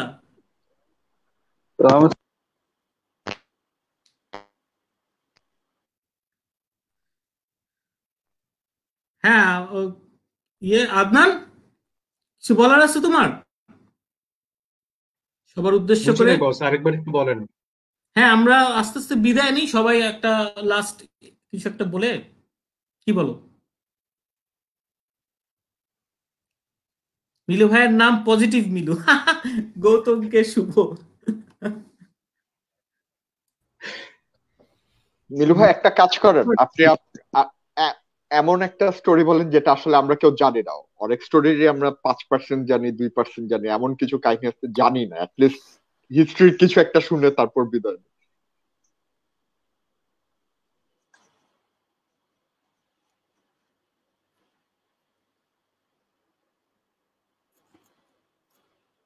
ফকির আলমগীরের একটা ইয়ে ছিল, ওই একটা সাংস্কৃতিক গোষ্ঠী ছিল। এখন আছে কিনা জানি না। ওইটার নাম হলো বেসিক বলে একটা ইয়ে। তো ওনারা আমরা যখন স্কুলে পড়তাম, তখন উনি ওই আমাদের এই ফার্স্ট অ্যান্ড সেকেন্ড লেনে একটা ল কলেজ আছে। ল কলেজ বলেই ওই, ওইটা ফেমাস ওইখানে উনি প্রতি ফ্রাইডেতে একটা প্র্যাকটিসের মতো করতো ওই সবাইকে নিয়ে। তো সেটা আমিও জয়েন করি। আমি, আমার আরেক ফ্রেন্ড জয়েন করি। আমরা একদম গণসঙ্গীত গাওয়ার শুরু করে দিলাম ওনার সাথে প্রতি শুক্রবারে। হ্যাঁ একটা ইন্টারেস্টিং টাইম ছিল ওনার ইয়েতে। আর মানে উনি ওই, এই এই শিল্প গোষ্ঠীটা এখনও আছে বোধহয়। যে উনি কিন্তু এটা অনেক একটা ভালো একটা ফান্ডের মতো করে আর কি। ঋষির শিল্প গোষ্ঠী বোধ না? হ্যাঁ Rishij Rishij exactly Rishij thank you আমি তো নামটাই ভুল বলতেছিলাম। Right that was a good experience আসলে এটা আসলে আমার একদম আর্লি স্টেজে কোনো মিউজিশিয়ানদের সাথে পরিচয় ওই ওই তখন ছিল আর- হয়েছিল আর কি। এটা একটা ইন্টারেস্টিং তারপরে তো নীলদার সাথে এটা তো বইয়েই আছে সবাই জানো তোমরা।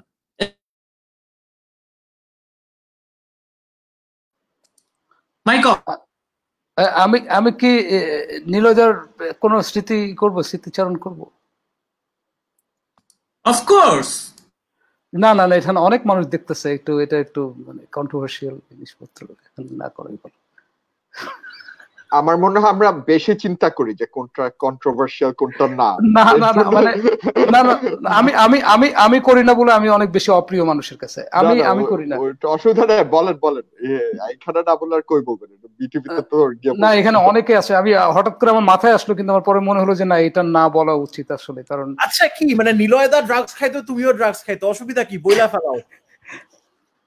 মানে আমি আমি তখন আমিন বাজারে গেছি একটা ইসে, অনেক ছোট তখন। আমি তখন গিটার টিটার বাজাতে পারি না। একটা কর শিখছি, এ মাইনর। তো আমার নীলদের সাথে আগে আইবি হোস্টেলে দেখা হয়েছিল। প্রথম আমি একটু কদিন একটা লেখা লিখছিলাম যে, আমার জীবনে প্রথম সামনাসামনি গিটার বাজাতে দেখছি নীলদাকে। তো আমি আমিন বাজারে গেছি একটা কাজে। তা আমি মানে পকেট ভরে আসতেছি, অলরেডি ইসে। তো নীলদার সাথে দেখা হয়েছে। নীলদা, কেমন আছেন আপনি? এই, কেমন আছো তুমি? চোস কোথায়, ওখানে গেছিল? অমু- অমুকের ইসে? আমি বলি হ্যাঁ অমুকের ইসে গেছিলাম। তো বলে যে আমিও তো গেছিলাম। আমি বলি, বাহ, জোশ, আমরা দুজনেই। তো বলে যে, তুমি কি করো? আমি বলি, আমি তো গায়ক হওয়ার ইচ্ছা আমার ভবিষ্যতে, এখনও পারি না, একটা কট পারি মাইনর। তো সে বলে যে তাহলে চলো, তো আজকে তোমার সাথে জ্যামিং করব। তো আমরা, ওনার মিরপুরে গেছি, ওনার মিরপুরে গেছি ওনার বাসায়, ওখানে। যাওয়ার পরে উনি আমাকে একটা গিটার জোগাড় করে দিল আর উনি একটা গিটার নিল। নিলয় দা আমি কর্ড পারি না এ মাইনরটা কোনো রকম গিটার টিউন করতে পারি না। তা আমি এরকম ঝ্যান করতেছি আর সে এরকম বাজাচ্ছে, বাজাতে বাজাতে মানে আমরা দুজন ঘুমাই গেছি কখন জানি সে উঠছি। আমি কিছু সেন্সর করে কথাবার্তা বলছি। তো আশা করি এই এই ছয়জন বুঝবে, বাকিরা না বুঝলেও চলবে আসলে এরকম দারুণ এক্সপিরিয়েন্স না এটা দারুণ এক্সপিরিয়েন্স কিন্তু পুরোটা বলতে পারলে আমার না মানে বলে ই হলো না আসলে। পুরো সব এত সাইন ল্যাঙ্গুয়েজে বলা যায় না আসলে। অবশ্য আমরা অভ্যস্ত হয়ে গেছি ডিক্টেটরশিপে সাইন ল্যাঙ্গুয়েজ অনেক ভালো শিখে গেছি। দেখেন আপনি একটা জিনিস খেয়াল করেন বাংলা বাংলা রকে কিন্তু পাঙ্ক রক জিনিসটা ওইভাবে কখনো হয়নি। এটাই বোঝা যায় যে আমাদের সাহসের একটু অভাব আছে আসলে। হয়েছে গুরু আজম খান। হয়েছে হয়েছে হয়েছে কোনটা? জীবনে কিছু পাবো না রে। বাংলাদেশ গানটা 1974 এ ব্যান্ড ছিল বিকজ ওটা he sang about the famine Azam. Khan Azam Khan was punk rock guru Azam Khan was punk rock guru James is punk rock আমাদের বিচি আমরা কাইটা নিজের হোগার মধ্যে ভরছি বাট আমরা we can be punk rock too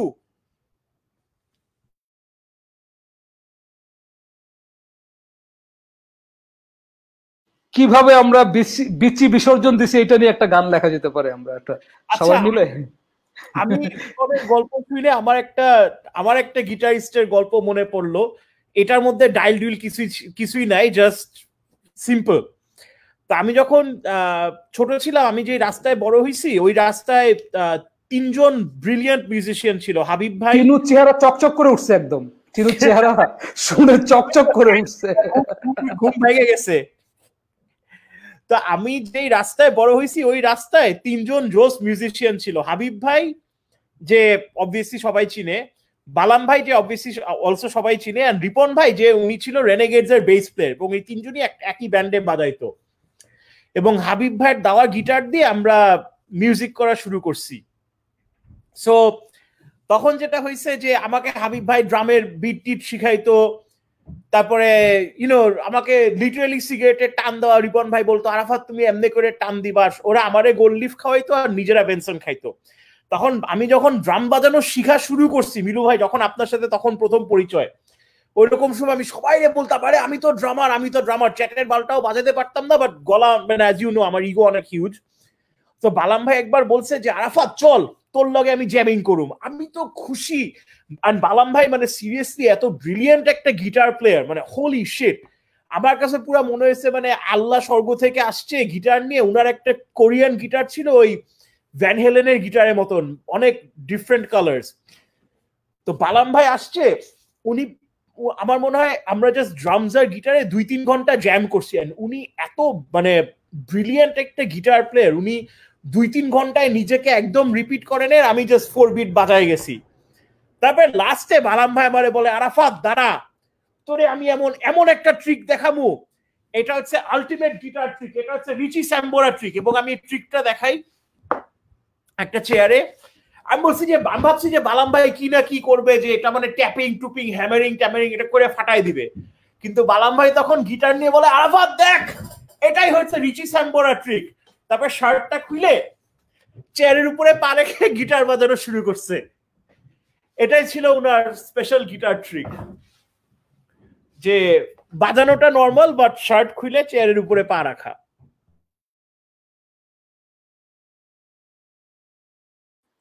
Milu ভাই হ্যাঁ। আপনি প্লিজ মানে আপনি খুবই ক্রিটিক্যালি একটা ই লেখেন। দরকার আমি আমি আপনার বাসায় বারে বারে আসব এসে আপনাকে সমস্ত নেগেটিভিটি শেখাবো। মোটামুটি মানে আপনার কানের কাছে আমি বসে বসে সারাদিন নিচ্ছে পড়ব। জরথুস তোমার অ্যালবাম নিয়ে লিখুন। হ্যাঁ হ্যাঁ আমার অ্যালবাম নিয়ে। ইচ্ছা মতো যা ইচ্ছা পচাই দিবেন একদম। আমার আমি আমার অ্যালবাম নিয়ে সবচেয়ে পচানো লেখা লিখতে পারব আমি নিজে আমি এটা জানি। তো মানে পচানো যাকে বলে একদম এই পচানো। আমি আপনার কানের কাছে এসে সারাদিন জরথুস বললেন পড়ব। আপনি নেগেটিভিটির ফুল প্যাক হয়ে যাবেন একদম।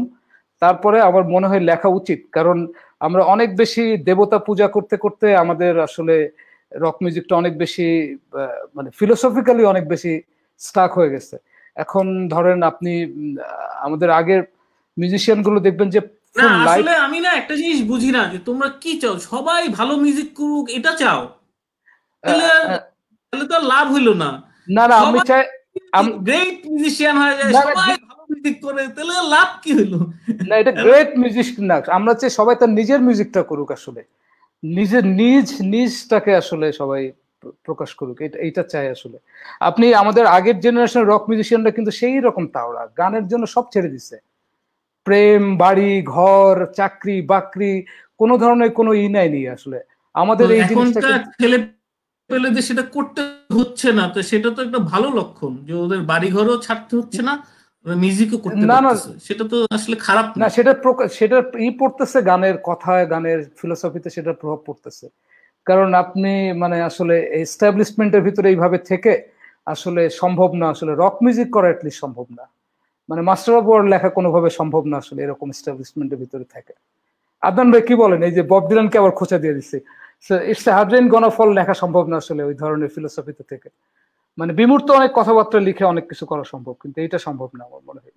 আমার মনে হয় যে আসলে উচিত।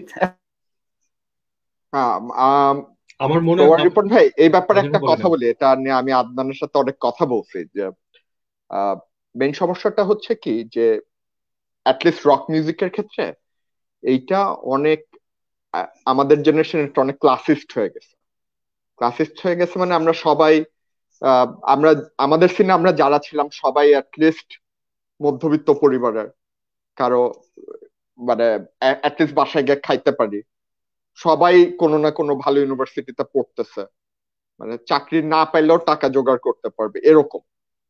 তো ওই ওই আমার এটা আমি সবসময় বলি যে, ওই, এখন আমি গিয়ে বাপের বাসায় থেকে আর ওই ইউনিভার্সিটিতে গিয়ে বন্ধুদের সাথে ওই দোকানে দোকানে খেয়ে আমার আমাদের পক্ষে কখনোই এই, ওই যে বস্তিতে থাকে ওর কষ্টটা বোঝা সম্ভব না। ওই মিউজিকটা ওইখান থেকেই আসতে হবে। সেটা আমরা চাপায় রাখছি অনেকভাবে। ইচ্ছাকৃত হোক, অনিচ্ছাকৃত হোক, জিনিসটা চাপায় রাখা।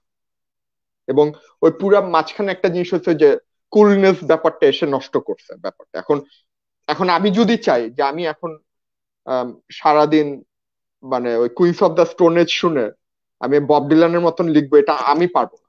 হবে না আমাকে দিয়ে। আমি বস্তিতে থাকি নাই, আমি গিয়ে ওই খাওয়ার টাকা নাই, আমার কাছে ছিল না, এই এই জিনিসের মধ্যে দিয়ে যাই নাই। তো আমার পক্ষে দিয়ে ওইটা সম্ভব আর আমার মনে হয় যে আমরা স্পেশালি মিউজিশিয়ানরা অনেক সময় we take our self too seriously মানে এখন যেইভাবে বব ডিলানেরটাও সত্যি যে, সেইভাবে আবার ওই যে এইটিজে যারা ওই রকম গান করছে যে চুলের মধ্যে সব স্প্রে করে, ওদেরটা ওদের জন্য মটলিটুর জন্য ওইটাই সত্যি। এক একজনের এক একটা রকম থাকবে। পুরা জিনিসটা সবাই যেটা পছন্দ করে ওইটা সত্যিটা আসা সম্ভব। যে যেখান থেকে আসছে, সব ধরনের মিউজিশিয়ান যদি একটা চান্স পায়।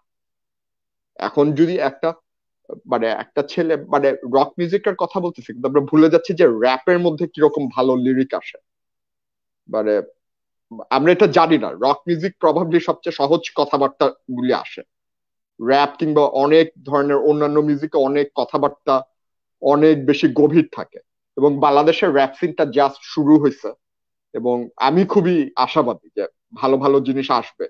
এবং আমার মনে হয় যদি আমরা ইন্টারনেটের জন্য হলেও যদি ওইটা আসে, যে ছেলেটা ঢাকার বাইরে থাকে, যে ছেলেটা মানে কোন একটা মফস্বলে থাকে, ওর যে দৃষ্টিভঙ্গি, ওইটা ডেফিনেটলি আমাদের থেকে ডিফারেন্ট হবে।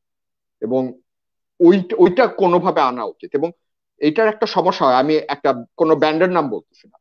একটা ব্যান্ডের গান শুনলাম এবং বেশ পাঙ্ক আপনি যে পাঙ্ক রকের কথা বলতেছেন, আমার বেশ ভালো লাগছে যে অরিজিনাল লাগছে।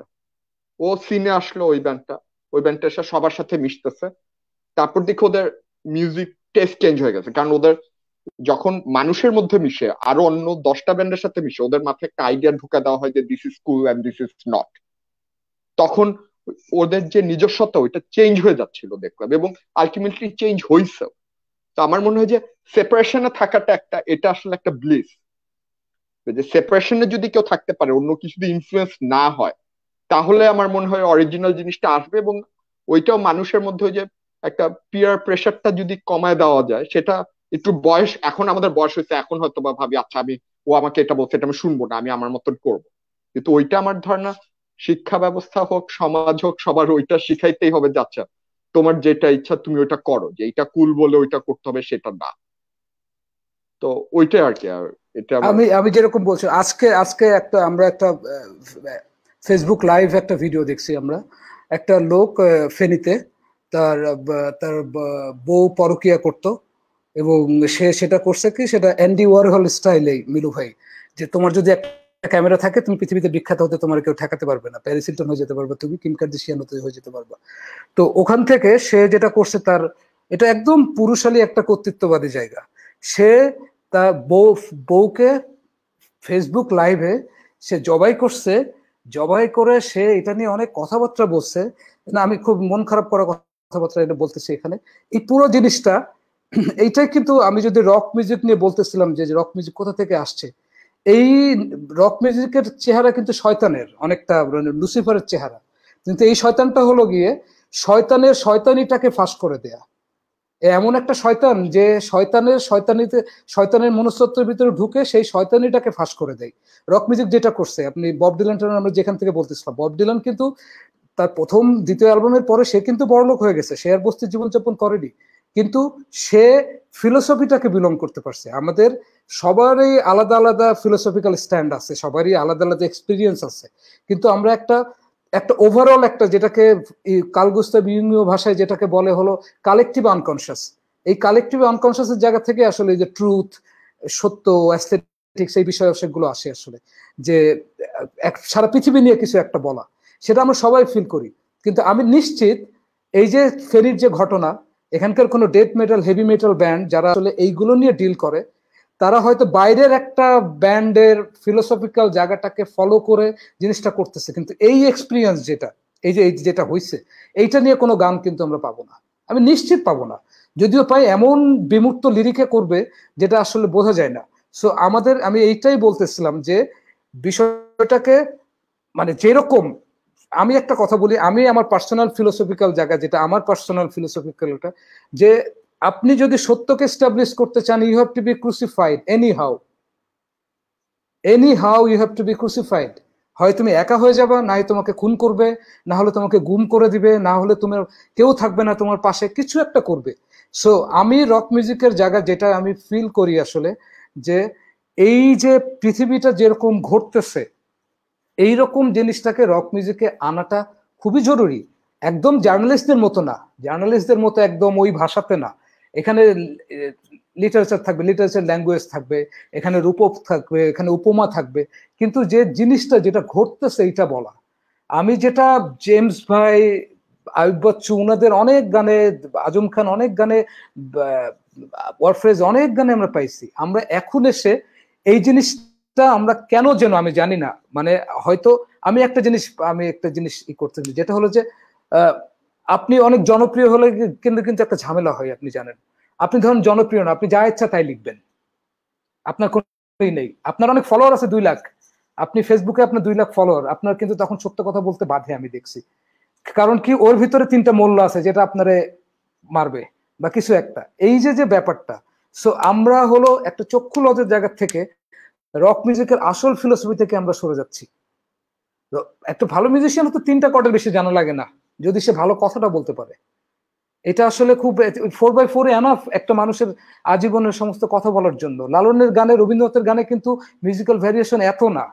আমরা যতখানি আপনি জন কোলট্রেনে পাবেন মাইলস ডেভিসে পাবেন, রবিশঙ্করে পাবেন, এত ভ্যারিয়েশন না কিন্তু। কিন্তু তারা অ্যাজ এ মিউজিশিয়ান তাদেরকে রবিশঙ্করও ই করে, তাদেরকে যদি মাইলস ডেভিসে শোনা যায়, সেও বলবে যে রবীন্দ্রনাথ অনেক জোশ, লালন অনেক জোশ। সো এটা হলো তার ফিলোসফিক্যাল জায়গাটা এক্সপ্রেস করা। আমার মনে হয় এই জায়গাটার, আমি খুব সিরিয়াস আলাপে চলে গেছি। এই জায়গাটার বিষয় আমাদের আসলে আমরা না পারি, আমি পার্সোনালি এখানকার অনেক রক ফ্যানদের সাথে কথা বলছি, আমি দেখছি তাদের ধারণাগুলো না অনেক ভাষা ভাষা। খুবই একটা মানে ফ্যাশন জায়গায় আছে। কিন্তু এটা এটা এটা ফিলোসফি আসলে। আমি বিশ্বাস করি রক মিউজিক কোনো জনরা না। এটা ফিলোসফি একটা। এই ফিলোসফি যে জায়গাটা, যেটা হলো যে আমার স্বাধীনতা, পৃথিবীর স্বাধীনতা, মানুষের স্বাধীনতা, আমি কিন্তু সোভিয়েত কমিউনিজমের কথা বলতেছি না। এই যে স্বাধীনতার যে জায়গাটা, অস্তিত্বের যে স্বাধীনতা, আমার কাছে যেমন মনে হয় যে পৃথিবীর প্রথম পাঁচজন রকস্টারে কেউ মিউজিশিয়ান না। একজন মিউজিশিয়ান বেতোভেন মিউজিশিয়ান আর্তুর র্যাবো নিচ্ছে ভিনসেন্ট ভ্যানগক বোদলেয়ার এবং বেতোফেন এরা কেউ মিউজিশিয়ান এরা রক এবং পেগানিনিকে আমরা এখানে অ্যাড করতে পারি। এটা হলো রক ক্যারেক্টার যারা যেভাবে স্টাবলিশ করছে। রকস্টার কোনো মানে মানে আমাকে রিফ বাজায়, জোরে জোরে গান গাইতে হবে এমন কিছু না। আমি বলছি, এই জায়গাগুলো যদি আমাদের ক্লিয়ার হওয়াটা খুবই আমরা হয়তো রকের হিস্ট্রি লিখতে গেলে কেউ প্রথম লিখবে না যে পৃথিবীর প্রথম তাগড়া রকস্টার বব দিলেন কেউ লিখবে না। কারণ তার তো অত জোরে জোরে রিফে গান নেই। কিন্তু কথা হলো গিয়ে, সে যে ফিলোসফিক্যাল যে জায়গাটা সে রক মিউজিক ইন্ট্রোডিউস করছে, এটা কেউ করেনি। এটা এলভিস প্রিসলি করেনি চাকবেরি করেনি, এটা ন্যাট কিংকল করেনি, কেউ করেনি, এটা বব ডিলান করছে। রক আসলে এই ফিলোসফির জায়গাটা। সো আমাদের ভালো লাগে জেমস ভাইকে যখন দেখি রকস্টার ব্যক্তিত্ব, দেখবেন কাউরে পুষে না। আমরা কিন্তু ইন্টারভিউ দিতে গেলে অনেক বেশি বিনয়িত থাকে। না, কি বলস? এই যে এটা হলো রক, এটা সে কিন্তু হার্মফুল মানুষ না, সে ক্ষতিকর মানুষ না।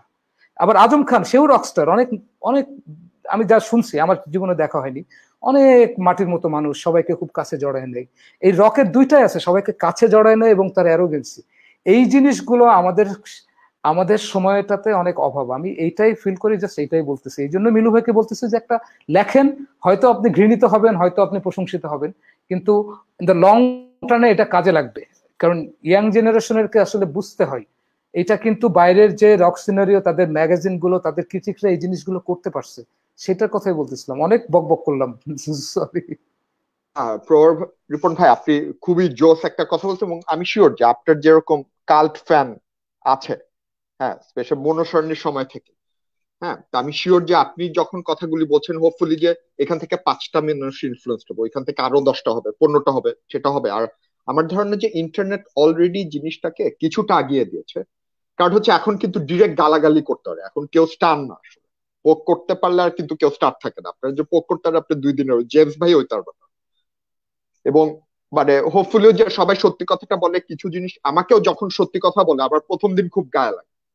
তিন দিন পরে গিয়ে চিন্তা করে, ওইটা তো ঠিকই বলছে। আবার তখন ইগোতে লাগছে। তিন দিন পর মনে হয় যে, না, এটা তো ঠিকই বলছে I should change that oh আপনি জেমস ভাইয়ের কথা বলছেন, এর জন্য আমি সরি অন্য একটা পয়েন্ট অফ ভিউ থেকে বলি।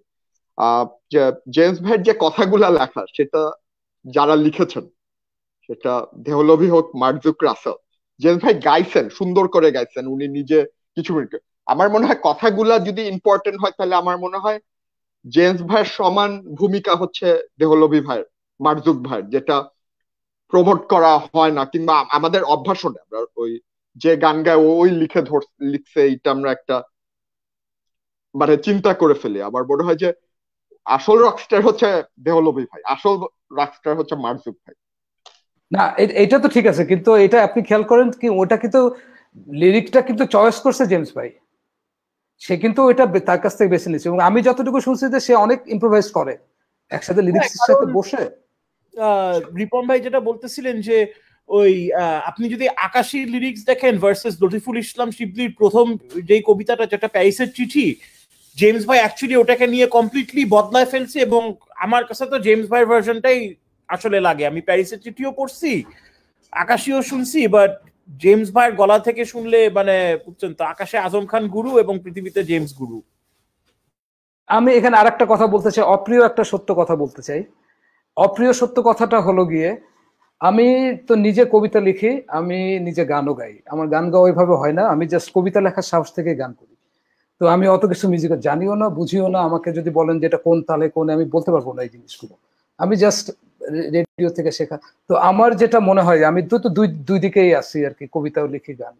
আমি বাংলা গানের এবং বাংলা কবিতার দুইটা দুর্বলতার কথা আমি বলছি, কেউ পার্সোনালি নিবেন না, এটা আমি ভবিষ্যতে ভালো জায়গা থেকে আসলে বলছি, এটা কোনো ধরনের কাউকে অবজ্ঞা করতেছি না। আমি দেখছি বাংলা কবিতার লোকের জনের গানের সাথে সংশ্লিষ্টতা কম, গানকে তারা কম বুঝে। মানে সারাদিন রাজনীতি রাজনীতি করবে, আবার গান শুনতে গেলে আমার ভিনদেশি তারা শুনবে, ঠিক আছে? কিন্তু আবার যারা মিউজিক্যাল লোক, তাদের সাহিত্যের সংশ্লিষ্টতা কম। অথচ বাংলা গানে এরকম হওয়ার কথা ছিল না। বাংলা গানের তিনজন বা আমার মতে চারজন যে প্রবাদ প্রতিম পুরুষ রবীন্দ্রনাথ নজরুল লালন এবং সমসাময়িক সময়ে গৌতম চট্টোপাধ্যায় এবং কবির সুমন মানে আমার আমার পার্সোনালি চয়েসের এসের কথা বলতেছি আমি। তো মানে লিরিক্যাল বা রেভুলেশনারি জায়গা থেকে আসলে। তো এদের এরা কিন্তু সব সাহিত্যের লোক গানে আসছে। যার ফলে এদের আপনি রবীন্দ্রনাথের একটা বাজে লাইন খুঁজে বের করতে পারবেন না। নজরুল লালনের একটা বাজে লাইন খুঁজে বের করতে পারবেন না। এই যে এই যে যার ফলে সে সাহিত্য থেকে আসা? যখন আমি গান লিখি, আমি যখন গান সুর করি, তখন আমি মিউজিশিয়ান কিন্তু আমি যখন গান লিখি, তখন আমি একজন কবি। সো এই যে দুইটা এলাকা থেকে যে শেখার ব্যাপার, এই দুই এলাকায় আমি দেখছি এটা অনীহা আছে এই অনীহার ফলাফল কিন্তু আমাদের এই যে লিরিক্সিস্টের উপর নির্ভরশীল হচ্ছে। উপরে নির্ভর। আমরা সবাই এখানে, আমরা যে বসে আছি মোটামুটি সবাই ভক্ত এখানে। এখন কি তাদের অসাধারণ অসাধারণ সুরের ভাগ তো নেই তাদের গানে তাদের যেটা আছে অসাধারণ লিরিক্সের সাথে মিনিমাল সুরটা আছে। সো এবং তারা পৃথিবীতে একটা পথ দেখাতে পারছে। সে দেখা শিখছে। না। বলে যে গান তুমি এই যে এই যে জায়গাগুলো আসলে এই জায়গাটার একটা ল্যাকিংস আমাদের এখানে ইয়ে আছে কিন্তু আমাদের মানে আমরা যারা মিউজিকের লোক শুধুই মিউজিক নিয়ে থাকি, আমরা যারা সাহিত্যের লোক শুধু সাহিত্য নিয়ে থাকি। কিন্তু আপনাকে ভালো কবিতা লিখতে হলে আপনার যদি মিউজিক সম্পর্কে ধারণা না থাকে, আপনি ভালো কবিতা লিখতে পারবেন না। কারণ কবিতা আপনি জীবন দাস পরে দেখবেন মিউজিক কারে বলে। ভিতরে অসাধারণ সব সোনাটা সিম্ফনি ওখানে আছে এই যে এই যে যে জিনিসগুলো আসলে, এইটার একটা ল্যাকিংস আমাদের আছে। এই ল্যাকিংসটা কাটলে আমাদের গানের জন্য অনেক ভালো। আমাদের আরও স্পষ্ট ভাষী হতে হবে আসলে গানে আমাদের আরও আসলে স্পষ্ট ভাষী। আমি যদি আক্রমণ করি, আক্রমণটা জন্য বোঝা যায়, অসামাজিক গানটা শুনলে আমি কিন্তু আক্রমণটা বুঝি। আমি কিন্তু এখনকার অনেক নৈরাজ্যবাদী গান শুনলে আক্রমণটা বুঝি না। সো এখান থেকে আমি কাউকে ছোট বড় কাউকে আক্রমণ করতেছি না। এটা জাস্ট এই যে বলতেছিলাম মিলু ভাইকে নেগেটিভ দিয়ে একটা মানে যে এইভাবে যদি আমরা যদি যাই, আমাদের গান কারণ বাংলা গান আসলে অনেক শুনেন বা আমার কাছে পার্সোনালি মনে হয় একাত্তর পরবর্তী বাংলা রক গানের থেকে ইনফ্লুয়েন্সিয়াল কোন শিল্প মাধ্যম বাংলাদেশে হয়নি। না করছে কবিতা, না করছে সিনেমা না করছে চিত্রকলা, একদম মানে ঘাটে মাঠে গ্রামে মানুষকে উজ্জীবিত করে একদম মান্না নিয়ে তিতাস নরম মানে যে পথে প্রতীক নেই বা মাধবী বা জীবনে কিছু পাবো না এই যে ফিলোসফিক্যাল ভাবে শেখাতে পারছে। একদম মানে মানুষের জীবনের দিশে দুটো চলে গেছে। কিন্তু সেই জিনিসটা এখন মৃত প্রায় মানে মৃতপ্রায় মানে আমি ভাবতেছি যে এখনকার এখন মানে এটা হচ্ছে র্যাম্প কারণে। তো এই তো আমার এই এই কথাবার্তা দারুণ বলছো তুমি দারুণ বলছো। ইয়েও খুব সুন্দর বলছো। রঞ্জনও খুব ভালো বলছো।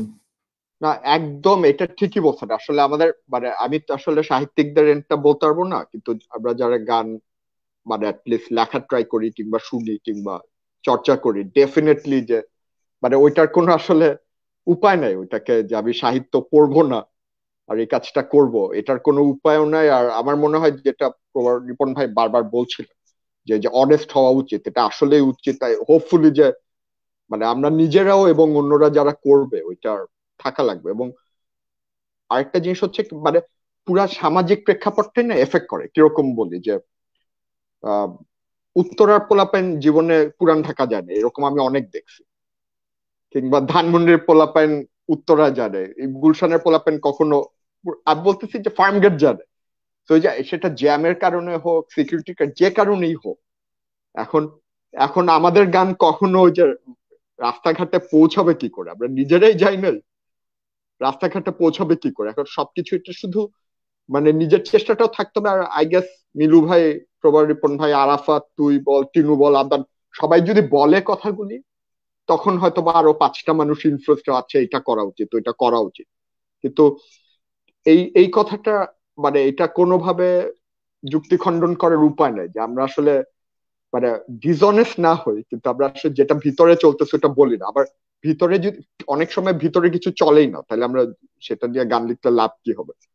তো আমাদের আসলে সব দিকে খেয়াল, চোখটা খোলা দরকার আসলে অনেস্ট হইতেই হবে। এটা মানে পুরা, এটা আমাদের দেশের জন্য হোক, যেটার জন্য হোক, এটা ছাড়া আমাদের আসলে কোনো উপায় নেই। মানে বাঁচার উপায় নেই মানে আর্টের মাধ্যমে উপায় নেই পলিটিক্যালি উপায় নেই। We have to be honest এটার আমরা যে যে আমাদের এখন যে যে প্যান্ডেমিক বা এপিডেমিক বা যা চলছে, আসলে এইগুলো তো আমরা অনেক আগে আসলে টের পাইছি যে এরকম কিছু একটা হতে যাচ্ছে পৃথিবীতে। কারণ পৃথিবীর তো সবই দেখছে। তো এই জিনিসগুলো আসলে আগে থেকে বলা উচিত। এখন এসে অনেক ভয় পেয়ে, অনেক কানাকাটি করে, অনেক আশার কথা বলে আসলে লাভ নেই। যা হঠাৎ ঘটে গেছে আসলে। আমরা একদম নতুন একটা পৃথিবীর দিকে আমরা নতুন একটা পৃথিবীর দিকে আসলে আমরা ছুটে চলছি আসলে। আচ্ছা আমরা শেষ করব সব? হ্যাঁ আমরা শেষ করি। আমি টু আওয়ার্স হয়ে গেছে। আমি আমি আমি যাওয়ার আগে একটা গান শোনাবো একটা গান শোনাবো একটা শিওর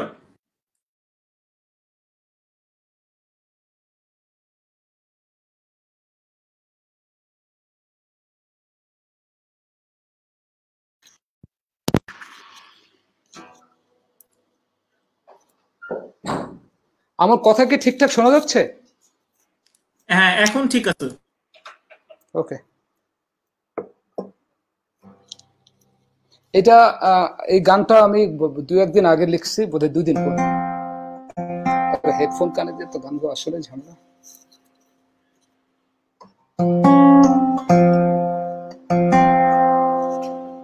এটা আমি এই গানটার নাম হলো মহামারীর বসন্ত এলিজি।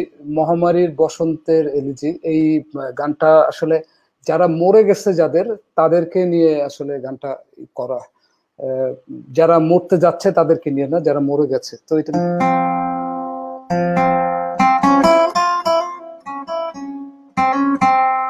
মহামারীর এই বসন্তে যারা মরে গেলে তারা কখনো রে সময়। পৃথিবীতে মহামারীর এই বসন্তে যারা মরে গেলে তারা কখনো রে শুনো পৃথিবীতে আচ্ছা একটা মিনিট একটা মিনিট একটা মিনিট।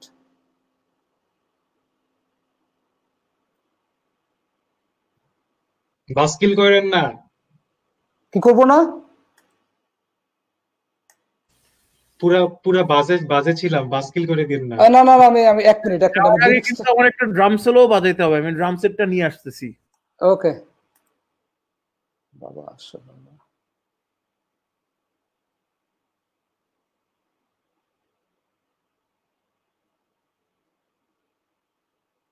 ও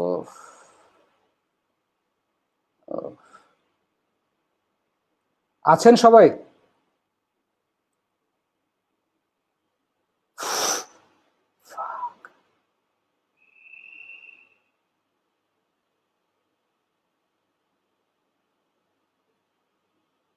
হ্যাঁ হ্যালো গান কই?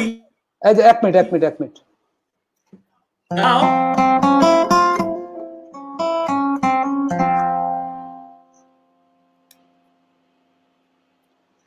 মহামারীর এই বসন্তে যারা মরে গেলে তারা কখনো আর ফিরে শোনো এই পৃথিবীতে ওরা এখনই কফিন বানাচ্ছে, তোমরা ফিরবে জেনে। দেখো শেষে তোমাদের দিয়ে তোমাদের কফিন বানিয়ে নেবে। মহামারীর এই বসন্তে যারা মরে গেলে, তারা কখনো আর ফিরে শোনা এই পৃথিবীতে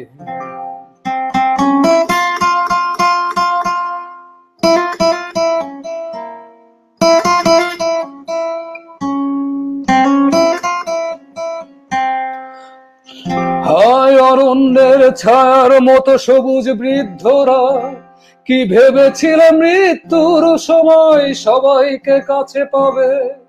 যাদের জন্য কুয়ো বানিয়েছিল গ্রীষ্মের মাটি খুঁড়ে, তারাই খুঁড়লো তোমার কবর, নিজের কবর থেকে দূরে। মহামারীর এই বসন্তে যারা মরে গেলে, তারা কখনো আর ফিরে এসো না। এই পৃথিবীতে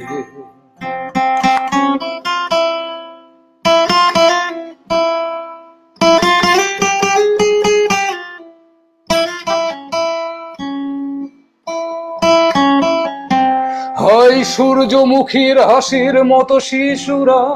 কীভাবে ডানা মেলে উড়ে গিয়েছিল সূর্যের কাছে। আজ যখন ডানা পুড়ে কাতরাও সভ্যতার গহ্বরে। কেউ কাছে নেই এমন কি তুমিও নেই তোমার পাশে। এ পৃথিবী প্রাণের অযোগ্য হয়েছে সেই কবে। শুধুই জড় বস্তুর শাসন আরও জড় হৃদয়ের কাছে। শুধুই সব বেঁচে দেয় তার প্রাণ রাজকীয় সবের কাছে। কে বলতে পারে এখনও কোথাও ফুলের প্রাণ আছে। মহামারীর এই বসন্তে যারা মরে গেলে তারা কখনো আর ফিরে শোনা এই পৃথিবীতে। ভয়ঙ্কর সব জীবাণু হয়ে উঠেছে মানুষে মানুষে। কে হতে পারে আরও বড় জীবাণুকে কাকে মেরে? তারই পাল্লাই জাহাজ ছুটেছে ধ্বংসের শূন্য বন্দরে। তেমন পাখিও নেই যে বসতে পারে। মানুষের অন্তরে, মানুষের অন্তরে। তেমন পাখিও নেই যে বসতে পারে কোন মানুষের অন্তরে। মহামারীর এই বসন্তে যারা মরে গেলে, তারা কখনো আর ফিরে শোনা এই পৃথিবীতে তোমরা কেউ ফিরে শোনার এখানে আত্মার দরজা বন্ধ করে নিঃশেষ করো প্রেমকে।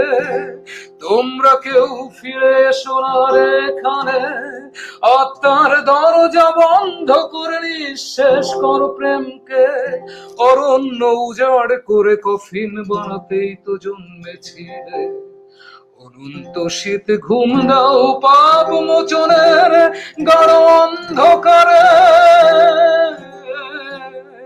অনন্ত শীত ঘুম দাও পাপ মোচনের গাঢ় হিম অন্ধকারে মহামারীর এই বসন্তে যারা মরে গেলে, তারা কখনো আর ফিরে শোনা।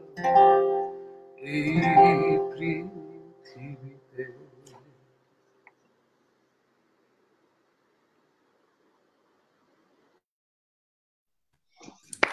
তোমার গান শোনা হাততালি দেওয়া যাবে কিনা এটা তো আমি কনফিউশনে পড়ে মন খারাপ হয়ে গেল। হ্যাঁ মন খারাপ করা গান but thank you thank you দারুণ গান। আমরা দুই ঘণ্টা ধরে ইরেলেভেন্ট থাকার চেষ্টা করছি। ফাইনালি ভাই আমাদেরকে রেলেভেন্ট বানায় ফেলছে লাস্ট ফাইভ মিনিটসে এক্স্যাক্টলি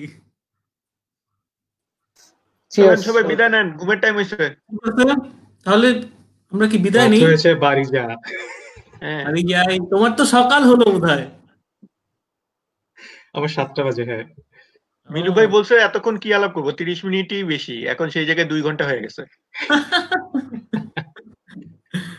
আমরা করব না এরকম মাঝে মাঝে? হ্যাঁ হ্যাঁ। মজা আর কি আমি তো বলতেছি এখন মিলু ভাই বলছে যে এইবারই প্রথম এইবারই শেষ। আপনারা একটু বলেন মিলু ভাইকে যে প্রতি সপ্তাহে অন্তত এক এক দুইবার করে বসার জন্য আর কি। তো রাতে সবাই জেগে থাকে সমস্যা গানের অনেক কমেন্ট আসছে সবাই আচ্ছা ওটা ওটা বাদ ওটা বাদ।